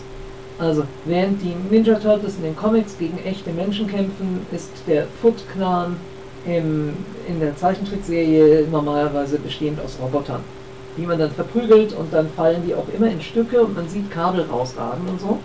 Äh, Gerade auch, wenn dann irgendwann die den Kopf verlieren, damit man sieht, dass da auch wirklich keine Cyborgs oder sowas sind, die also wenigstens noch ein menschliches Gehirn haben, sondern es sind komplette Roboter. Äh, weil Roboter zerstören gilt als pädagogisch nicht bedenklich. So, und deswegen glauben auch ganz viele Leute zum Beispiel, die Stormtrooper seien Roboter. Äh, aber da ist das nicht so. Ähm, weil Roboter kann man nicht K.O. schlagen. Äh, so, aber wir können auf jeden Fall äh, uns jetzt überlegen, was kann ich auf der anderen Seite, also so für typische Schurkenhelme machen. So, Schurken sollten nicht zu individuell sein. Ihre Anführer dürfen andere Uniformen tragen und die Uniformen passen dann auch nicht notwendigerweise zu den Fußsoldaten. Ähm, was nämlich dann so ein bisschen die, die, die äh, die Schurken als, äh, wie drücke ich das aus, heuchlerisch entlarvt. Insofern als ähm, ihre Anführer glauben schon an Individualismus. Aber sie erklären ihren Leuten was anderes und deswegen sind sie nicht ehrlich und deswegen sind sie böse. So, und dann schaue ich mir halt äh, an, was da der Fehler dann ist in Star Wars. Ähm, ich bleibt weiter dabei in Star Wars, das Imperium hat Recht und die Rebellen sind religiöse Fanatiker, die in Regierungseinrichtungen, die ein böser Typ äh, missbraucht, in die Luft jagen und hunderttausende unschuldige Leute töten, die einfach nur rekrutiert wurden und dachten, cool, macht beim Militär mit. Ja? Äh, das ist wie wenn wir eingezogen werden bei der Bundeswehr und äh, dann versenkt jemand äh, von unseren eigenen Leuten, die wir eigentlich beschützen sollen, unser U-Boot und wir sterben da unten alle äh, einen grässlichen Tod und dann soll ich ihnen auch noch zujubeln und sagen, habt ihr richtig gemacht. Nee, klappt nicht so. Ähm, und woran merkt man das? Das merkt man daran, dass das Imperium an sich nicht heuchlerisch funktioniert. Äh, bis am Ende sich herausstellt, dass der, der Obermotz von ihnen ein religiöser Irrer ist. Ich meine, Darth Vader ist offensichtlich ein ziviler Berater. Ja? Der ist nicht Teil des Militärs. Er ist ein Lord und hat keinen Rang. Ähm, also von daher zählt er nicht. Aber der, der Kaiser, der Imperator über dem allen, äh, ja gut, andererseits muss der auch nicht unbedingt einen militärischen Rang begleiten, äh, bekleiden. Ne? Also das, das, ja, schwierig. Also letztendlich ist das Imperium nicht heuchlerisch genug, als dass ich gegen sie sein kann. Und äh, jetzt wollen wir also schauen, wie können wir jetzt möglichst Helme machen, die die Helden nicht als Bösewichte erscheinen lassen, wenn sie diese Leute töten. Dazu gehört ganz oft, dass äh, in diese Helme eine Form von Bosheit hineingelegt wird. Und das ist quasi ihre Hauptfunktion außerhalb der Story. Ich muss als Leser erkennen können auf einen Blick, dass das die Bösen sind. Ähm, aber ansonsten erfüllen sie dieselben Grundfunktionen wie für die Helden auch. Schutz, Atmung und so weiter und so fort. Ähm, Aber die Option, man muss ihr Gesicht sehen, äh, ist nicht notwendig. Das heißt, wir können ihnen bessere Schutzfunktionen geben. Wir können nämlich statt einer blöden Glasplatte was Vernünftiges vorne hin machen. So, dann wollen wir mal sehen. Und da das die Schurken sind, blicken die natürlich in die andere Richtung. Ha. So. Jetzt ist mir theoretisch gesehen auch vollkommen egal, wo ihre Augen sind. Warum? Naja, die können zum Beispiel auch Kameras haben. Oder sie könnten auch ganz ohne Augen sein, weil der Punkt ist, äh, die Anwesenheit von äh, Gesichtsausdrücken, auch von der Position von Augen, würde sie schon wieder menschlicher wirken lassen. Und das ist ja genau das, was wir nicht wollen. Dementsprechend ordentlicher Schutz vorne drauf, anonymisiert. Ja, dann denken wir doch einfach mal nach über eine dicke, fette Platte.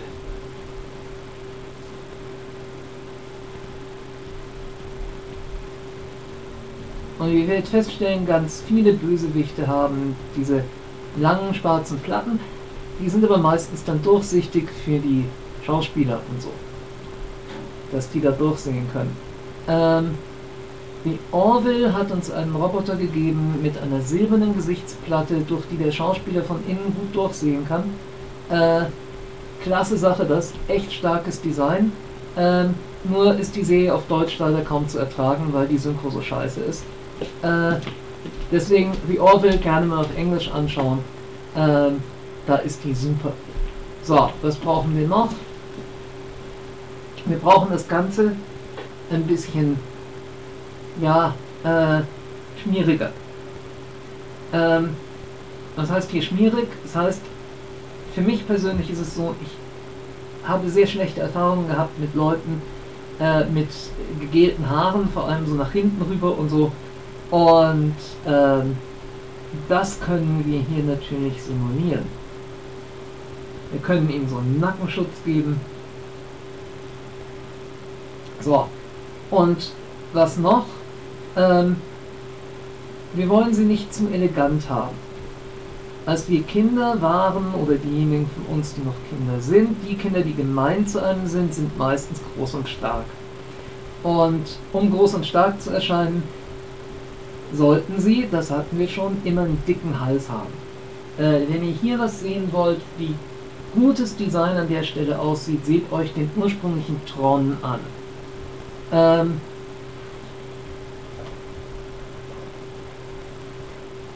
da haben die Leute, die für die Bösen als Wachen arbeiten, da so ein kleines Gesicht in einem echt dicken Klotz von einem Hals. Ähm, super Sache das, ja. Äh, funktioniert total unpersönlich, ähm, selbst wenn man ihr Gesicht noch sieht. Das heißt also, wir könnten hier zum Beispiel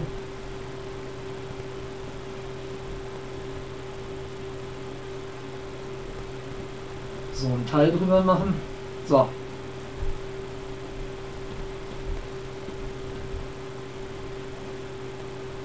Und ich werde jetzt mal Abstand davon nehmen, dass das hier wieder so eine Visorplatte ist, durch die man äh, durchsieht, indem sie schwarzes Plastik ist. Finde ich irgendwie langweilig. Ich würde die tatsächlich einfach glatt lassen. Wie eine Art polierte Metallplatte. Mal im Comic müssen wir uns über Spiegelungen keine Sorgen machen. Filme haben das Problem mit Spiegelungen. Was haben die für ein Problem mit Spiegelungen? Man muss aufpassen, dass sich die Kamera nicht drin spiegelt. Aber wir sind hier im Comic und im Comic gibt es keine Kamera. Und das heißt, wenn ich es will, mache ich es der Verfilmung meines Stoffes schwerer, indem ich Dinge mache, die die nicht können. Ha. So, was sollten sie noch? Sie sollten auf jeden Fall eine bedrohliche Dinge darstellen. Und das heißt, sie sollten, wenn wir schon bei Comics sind, etwas können, was normalerweise niemand kann und was die Helden auch nicht haben. Sie müssen eine Bedrohung darstellen, indem sie ihnen technisch überlegen sind. Und wie könnte ich das hinkriegen? schwebende Teile. Dinge, die gar nicht mit der Rüstung verbunden sind und irgendwie gemein und hässlich aussehen.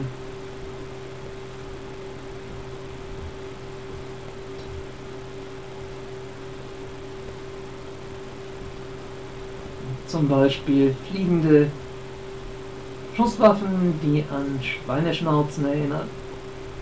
So.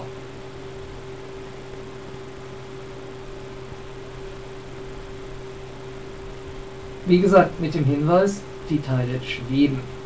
Ja, sind an keiner Stelle verbunden mit der Figur.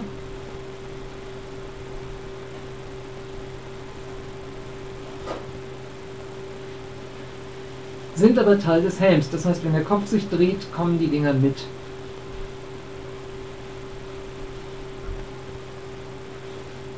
So, ähm, wie kriege ich das Ding noch irgendwie gemein?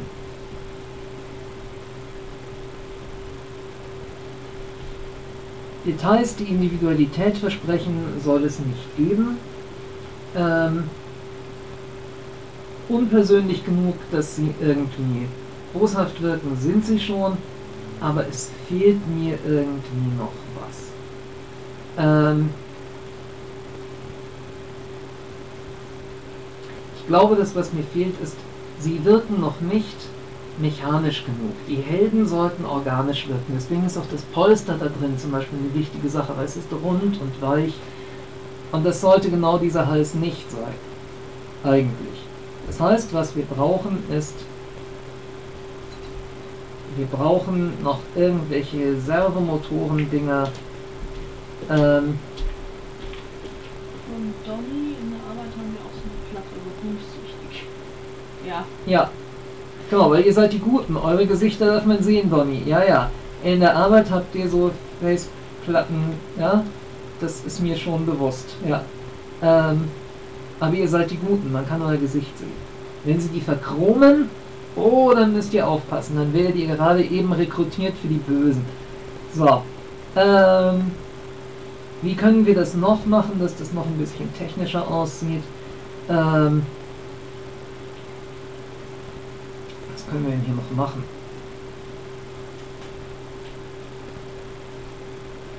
Noch irgendwie sich so überlagernde Metallplatten hin oder sowas. Ähm,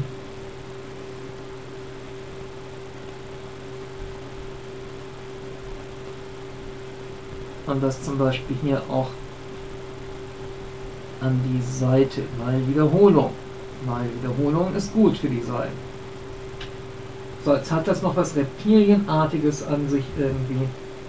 Und ähm, kann sich natürlich überlegen, dass das auch mehrere Teile sind noch.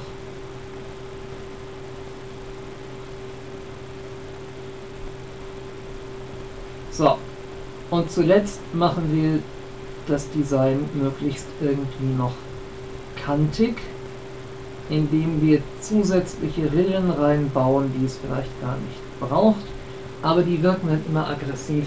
So, und äh, das hier wirkt jetzt ehrlich gesagt nicht mehr besonders heldenhaft. Ja? Äh, warum? Nun, wenn zu viel Rüstung dran ist, äh, dann ist das feige. Weil der geht ja gar kein Risiko mehr ein. Die Helden, die leichter gepanzert sind, äh, wirken natürlich heldenhafter. Ja? Deswegen äh, He-Man, Conan der Barbar, äh, so gut wie gar nichts am Leib, aber stellen sich Typen, die Kettenhemden, Panzerplatten, äh, Speere zu. Ha? Skeletor trägt nicht viel, aber Skeletor tritt auch nie in den Kampf. Also zumindest nicht in der klassischen Serie. Du hast nie den lange erwarteten Showdown He-Man gegen Skeletor, weil Skeletor, obwohl er Muskeln hat, noch, noch mal was, äh, von vornherein klar ist, er ist viel schwächer als He-Man ist. Donny ist sich nicht so ganz sicher, ob sie wirklich die Guten sind. Und ihr seid die Guten. Ihr seid die Guten, Ja, Donny, ja? Donny, ihr seid die Guten, weil ähm, ihr werdet schlecht behandelt. Die Bösen werden gut behandelt. Ist doch immer so. Den bösen Leuten schiebt man alles in den Hintern rein. Und deswegen sage ich ja auch, die Stormtrooper können gar nicht die Bösen sein. Denen geht's nicht gut genug, denen geht's relativ dreckig. Die Leute, denen es gut geht, da finden wir mehr unter den Bösen. So, also, das sind meine zwei grundsätzlichen Überlegungen ähm, zu Schurkenhelmen und guten Helmen. Ähm, Gibt es da noch Fragen, Louis, spezifischer Art, wie ich dich irgendwie weiterbringen kann?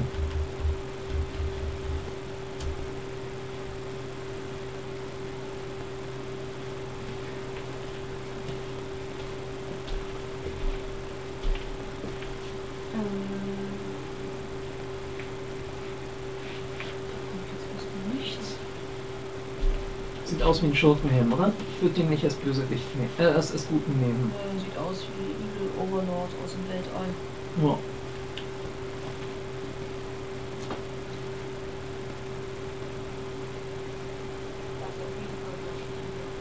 Okay, Louis ist zufrieden. Leute, wir haben noch eine Viertelstunde übrig. Ähm, sehr, sehr gerne, Louis, immer gerne. Ähm, je mehr du fragst, desto mehr kann ich dir helfen. Und das gilt natürlich auch für alle anderen da draußen, äh, die sich das hier vielleicht irgendwann anschauen. Äh, ich weiß ja nicht, ob ihr vielleicht irgendwie doch mal Zeit habt, direkt im Workshop live dabei zu sein, anstatt es später anzuschauen. Äh, ihr merkt, wir gehen auf Fragen ein, so gut es geht, und wenn der Stream gut läuft, dann halten wir das auch drei Stunden durch und dann macht das alles auch Spaß und mir selber auch mehr Spaß.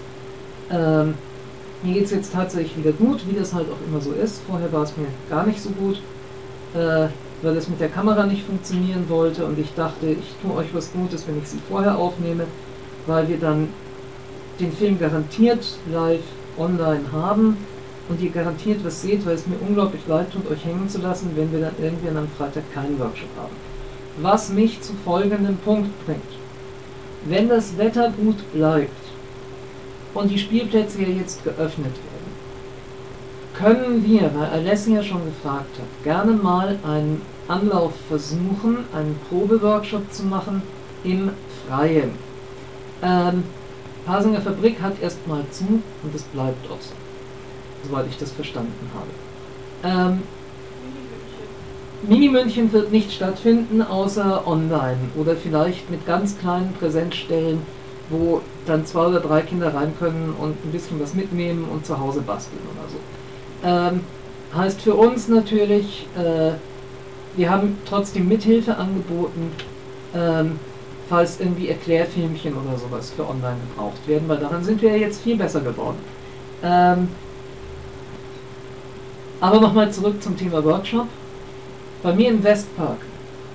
Ähm, das heißt also, äh, wieder wo wir uns früher teilweise im Sommer getroffen haben, gibt es ein Amphitheater, das war gesperrt zusammen mit allen äh, Spielplätzen. Und dieses Amphitheater hat einen so großen Durchmesser, ähm, dass man mühelos 10, 15 Leute dort unterbringt, ähm, die sich aus dem Weg gehen können mit 1,50 Meter Abstand. Und wenn wir alle irgendwie Zeichenunterlagen mitbringen, ich habe noch ein paar Platten übrig und wenn ihr irgendwie Blöcke mitnehmt oder so, dann kann ich noch versuchen, einen Flipchart zu organisieren und dann könnten wir dort mal probehalber wieder einen Workshop im Freien machen. Ich sage nicht, dass wir den gleich nächste Woche machen, weil ich möchte erst mal sehen, wie Feedback ist, ob überhaupt Leute sagen, ja, sie kommen dahin, auch wenn das vielleicht ein bisschen blöd zu erreichen ist. Wobei der Westpark ist nicht wirklich blöd zu erreichen. Die U-Bahn-Station äh, ist Holzapfelkreuz und von da aus ist es vielleicht 10 Minuten zu laufen. Und mit dem Bus äh, es ist halt hier bei mir an der Ammerseestraße und äh, man kann dann äh, relativ easy reinfahren. Äh, ist halt ein kleines Stückchen. Ähm, oder fast direkt davor liegt die Trambahnhaltestelle Stegener Weg. Äh, und die ist fast direkt am Eingang. Es ist nämlich ganz nahe am Wirtshaus Rosengarten, den könnt ihr auch mal googeln. Und das würde ich dann nochmal rechtzeitig ansagen und wir würden das machen mit Voranmeldung. Ähm, weil wir wissen müssen, wer kommt ähm, und weil wir sicherstellen müssen, dass wir dann für Notfälle irgendwie genug Masken oder sonst was da haben. Ähm, und äh, kann natürlich sein, dass wir dort Laufkundschaft kriegen, wenn wir da plötzlich einen Workshop machen, dass dann irgendwelche Leute sagen, ui, was macht denn ihr da? Äh, aber es ist das, was ich euch anbieten kann. Ähm, ich würde mich darüber freuen, wenn Leute dazu Meinung beziehen, indem sie mir bitte irgendwie E-Mail schreiben äh, an entweder info at worldofcomics.de oder an meine E-Mail-Adresse oder an Karinas E-Mail-Adresse oder einfach im Chat eine Nachricht hinterlassen. Die bleiben da auch stehen. Oder ihr schickt mir eine SMS oder ihr ruft mich an. Wir haben so viele Kontaktmöglichkeiten euch mitgeteilt. Und genau, also das, was wir halt noch uns überlegen müssen, ist, ob wir das wirklich als Freitagsworkshop machen, weil ähm, die Leute, die nicht kommen können, hätten dann in der, in der Woche quasi keinen Workshop. Wenn wir die Kamera wieder zum Laufen kriegen, können wir natürlich das Ding aufnehmen und dann später online stellen. Dann können die Leute quasi äh, den Workshop mitmachen und mit der Kamera quasi, also würden sie mich filmen und wir würden mal einen Schwenk machen. Äh, das können wir natürlich überlegen, aber dann wäre es immer noch nicht Freitag live. Das heißt, wir könnten uns eher vorstellen, dass wir das mal an einem Sonntag machen. Äh, und dann filmen wir es, wenn wir können, und stellen das zusätzlich online ähm, und machen aber den Freitagsworkshop trotzdem. Und schauen mal, wie das insgesamt anläuft. Und da würde ich mich, wie gesagt, freuen, wenn von jedem, der da Interesse hat, irgendwie vorher Feedback kommt weil ansonsten ist es eine Schnapsidee und ich lasse es einfach bleiben. Andreas kommt noch eine Frage. Andreas hat noch eine Frage. Cool, was hat Andreas für eine Frage? Äh,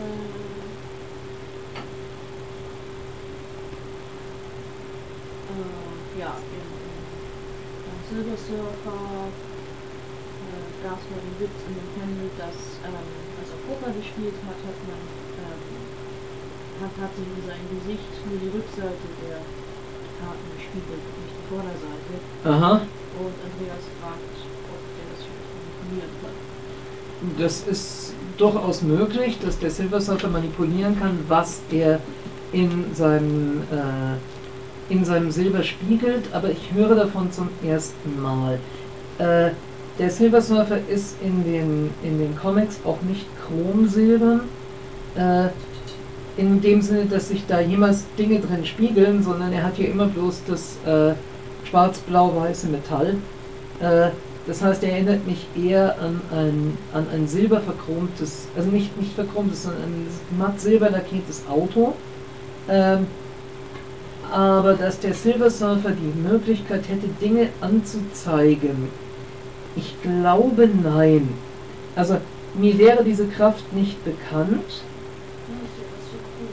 Ähm, das ist das eine. Und das andere ist, wenn er das könnte, so oft wie er sich darüber ärgert, der Silver Surfer zu sein, dann würde er doch einfach außen eine Haut einblenden, wie man sieht, und sich einen Anzug überwerfen und sich falsche Ohren ankleben und eine Perücke aufsetzen und unter den Menschen wandeln.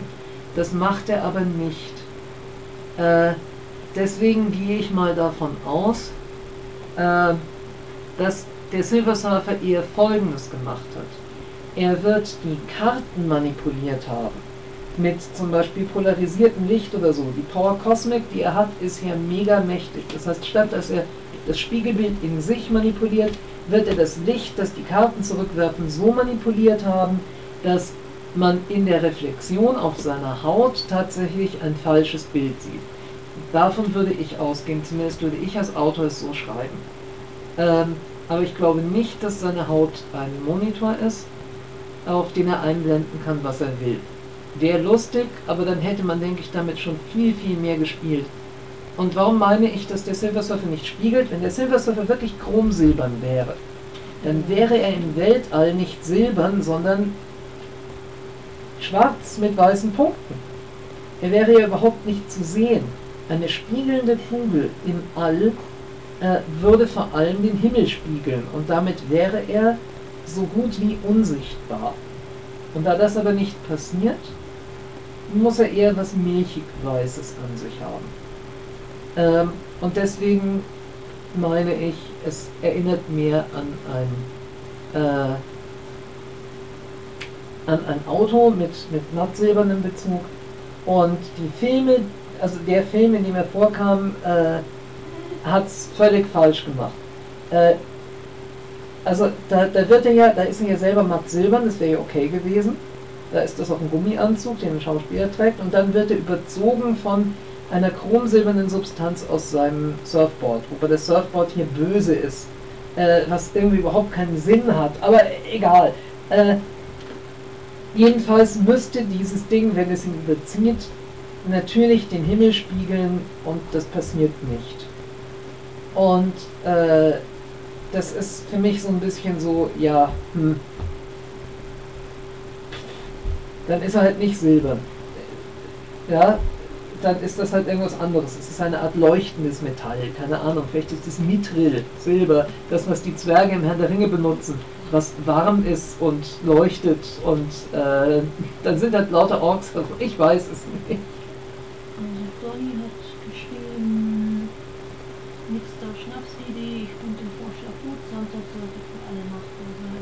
Schauen wir mal. Ich habe Ja. die Frage, was die Familie dazu sagt. Ne? Ja, genau. Es hängt natürlich immer gerade auch bei den Kindern davon ab, ob die Familie sagt, ja klar, geh hin, bewegst dich ein bisschen an der frischen Luft. Aber äh, ich denke auch, dass das mal an einem Sonntag zu machen äh, eine Idee ist. Dauerhaft möchte ich das nicht machen, ähm, weil A, ihr müsst ja immer noch herfahren. Und die, die öffentlichen Verkehrsmittel sind mir immer noch nicht sicher genug. Ähm, ich sage das jetzt mal ganz offen. Ja, es wird überall geöffnet. Nein, ich bin nicht der Ansicht, dass das die klügste aller klugen Ideen ist. Momentan steigen die Fallzahlen und wir machen auf. Ähm, das ist eine blöde Idee. Äh, deswegen gilt natürlich, wer nicht draußen sein muss, sollte doppelt und dreifach vorsichtig sein. Ich möchte gerne, dass wenn das hier alles vorbei ist, nicht noch mehr Wockler krank geworden sind. Mir reichen schon zwei. Ja? Ähm, und ich hoffe dass die anderen alle gesund sind, die von denen man nichts hört. Ja? Ähm, also von daher, seid vorsichtig. Ähm, schaut euch einfach mal nur die Fakten an, keine Argumente, sondern schaut euch die Fakten an, wie mehr und mehr Leute krank werden und überlegt euch, ob ihr welche davon sein wollt oder nicht. Äh, ich persönlich möchte nicht. Die, die krank geworden sind, die zwei, die ging es auch richtig scheiße. Ja. Und Wenn äh, ich nochmal höre, es ist ja bloß eine Grippe. Leute, ihr habt alle noch nicht eine echte Grippe gehabt. richtig. Ich hatte mal eine mit 16. Ah, nicht schön. Nein, die echte Grippe ist fürchterlich und lebensbedrohlich und wenn es heißt nicht schlimmer als, dann verwechseln diese Leute immer den Schnupfen mit der Grippe. Die, der Schnupfen ist aber nur ein sogenannter grippaler Infekt, weil er zu einer äh, also ähnlichen Gruppe von Viren gehört, aber es sind halt andere. Und äh, ja, also seid bitte einfach vorsichtig da draußen. Ähm, und äh, wir schauen mal, was irgendwie vertretbar ist, werden wir machen, damit wir alle uns wiedersehen. Ähm, wenn ich irgendwas sonst für euch tun kann, bitte lasst es mich wissen, gerade auch diejenigen von euch, die jetzt diesen ganz seltsamen Schulunterricht haben. Äh, wenn ihr Dinge erklärt braucht, ich mache ja jede Menge Videos äh, zu allen möglichen Nachhilfethemen. Ich versuche auch hinterher zu kommen, die zu beschriften. Ähm, und ich mache auch die ohne Ton so, dass sie selbsterklärend sind, überwiegend, indem ich Dinge dazu schreibe. Also, äh, wenn ihr da was braucht, bitte meldet euch. Ihr sitzt an einer guten Quelle. So viele Schulfächer wie bei mir auf einem Fleck kriegt man selten. Ähm, und die Videos kosten ja auch niemandem was, außer mich halt Zeit. Ja, ich möchte vor allem, dass es euch allen maximal gut geht. Das ist das, weswegen ich überhaupt da bin. Ja, Im Moment kosten sie uns deine Speicherkarten. ja das mit den Speicherkarten kriegen wir vielleicht wieder hin, aber wir werden überlegen, was wir da machen können. Irgendwas wird uns auch da einfallen. Ähm, wir arbeiten dran. Ja, wir arbeiten mit Hochdruck daran, moderner zu werden. Wir probieren es jetzt mal mit einem neuen Gerät aus, das wir haben, und wir schauen mal, ob wir von dem die Daten leichter runterkriegen können. Und wenn das alles funktioniert, dann yay. Gut. Okay, dann wünsche ich euch jetzt eine wunderschöne, gesunde Woche. Und auf ein Wiederhören spätestens dann. Ich schaue mal, was wir irgendwie machen können. Wenn die Uhrzeit es erlaubt und äh, Stream gut läuft, mache ich vielleicht ein paar Sachen live, äh, was ich bisher nicht aufnehmen konnte und so. Äh, Geschichten mit Schrecken möchte ich gerne noch ein paar machen oder Märchenstunde oder so. Wir werden mal sehen. Ja? Die Let's Plays und Bastelvideos laufen eh nicht so gut. Ähm, von daher wird dieser Captain America noch ein bisschen warten müssen. Ich spiele gerade mit, eben mit dem hier in meiner Hand, mit dem Knaben. Äh, aber wenn ich ihn nicht abfilmen kann, hat das alles keinen Sinn. So. Und damit macht es wie wir. Genießt so viel, wie ihr genießen könnt, aber mit Verantwortung und Vorsicht. Ja? Nicht alle gleich in die Innenstadt rennen, bitte. Nein. Ja, Es bitte ist so nicht. viel los da draußen. Wir werden jetzt unsererseits versuchen, ein bisschen was zu feiern. Unser Restaurant macht jetzt den Lieferbetrieb auf. Die werden, also nicht unser Restaurant, das machen unser Lieblingsrestaurant, wo wir unsere Familienfeiern und so abhalten. Ähm, wir werden jetzt die unterstützen, indem wir uns von denen was holen werden.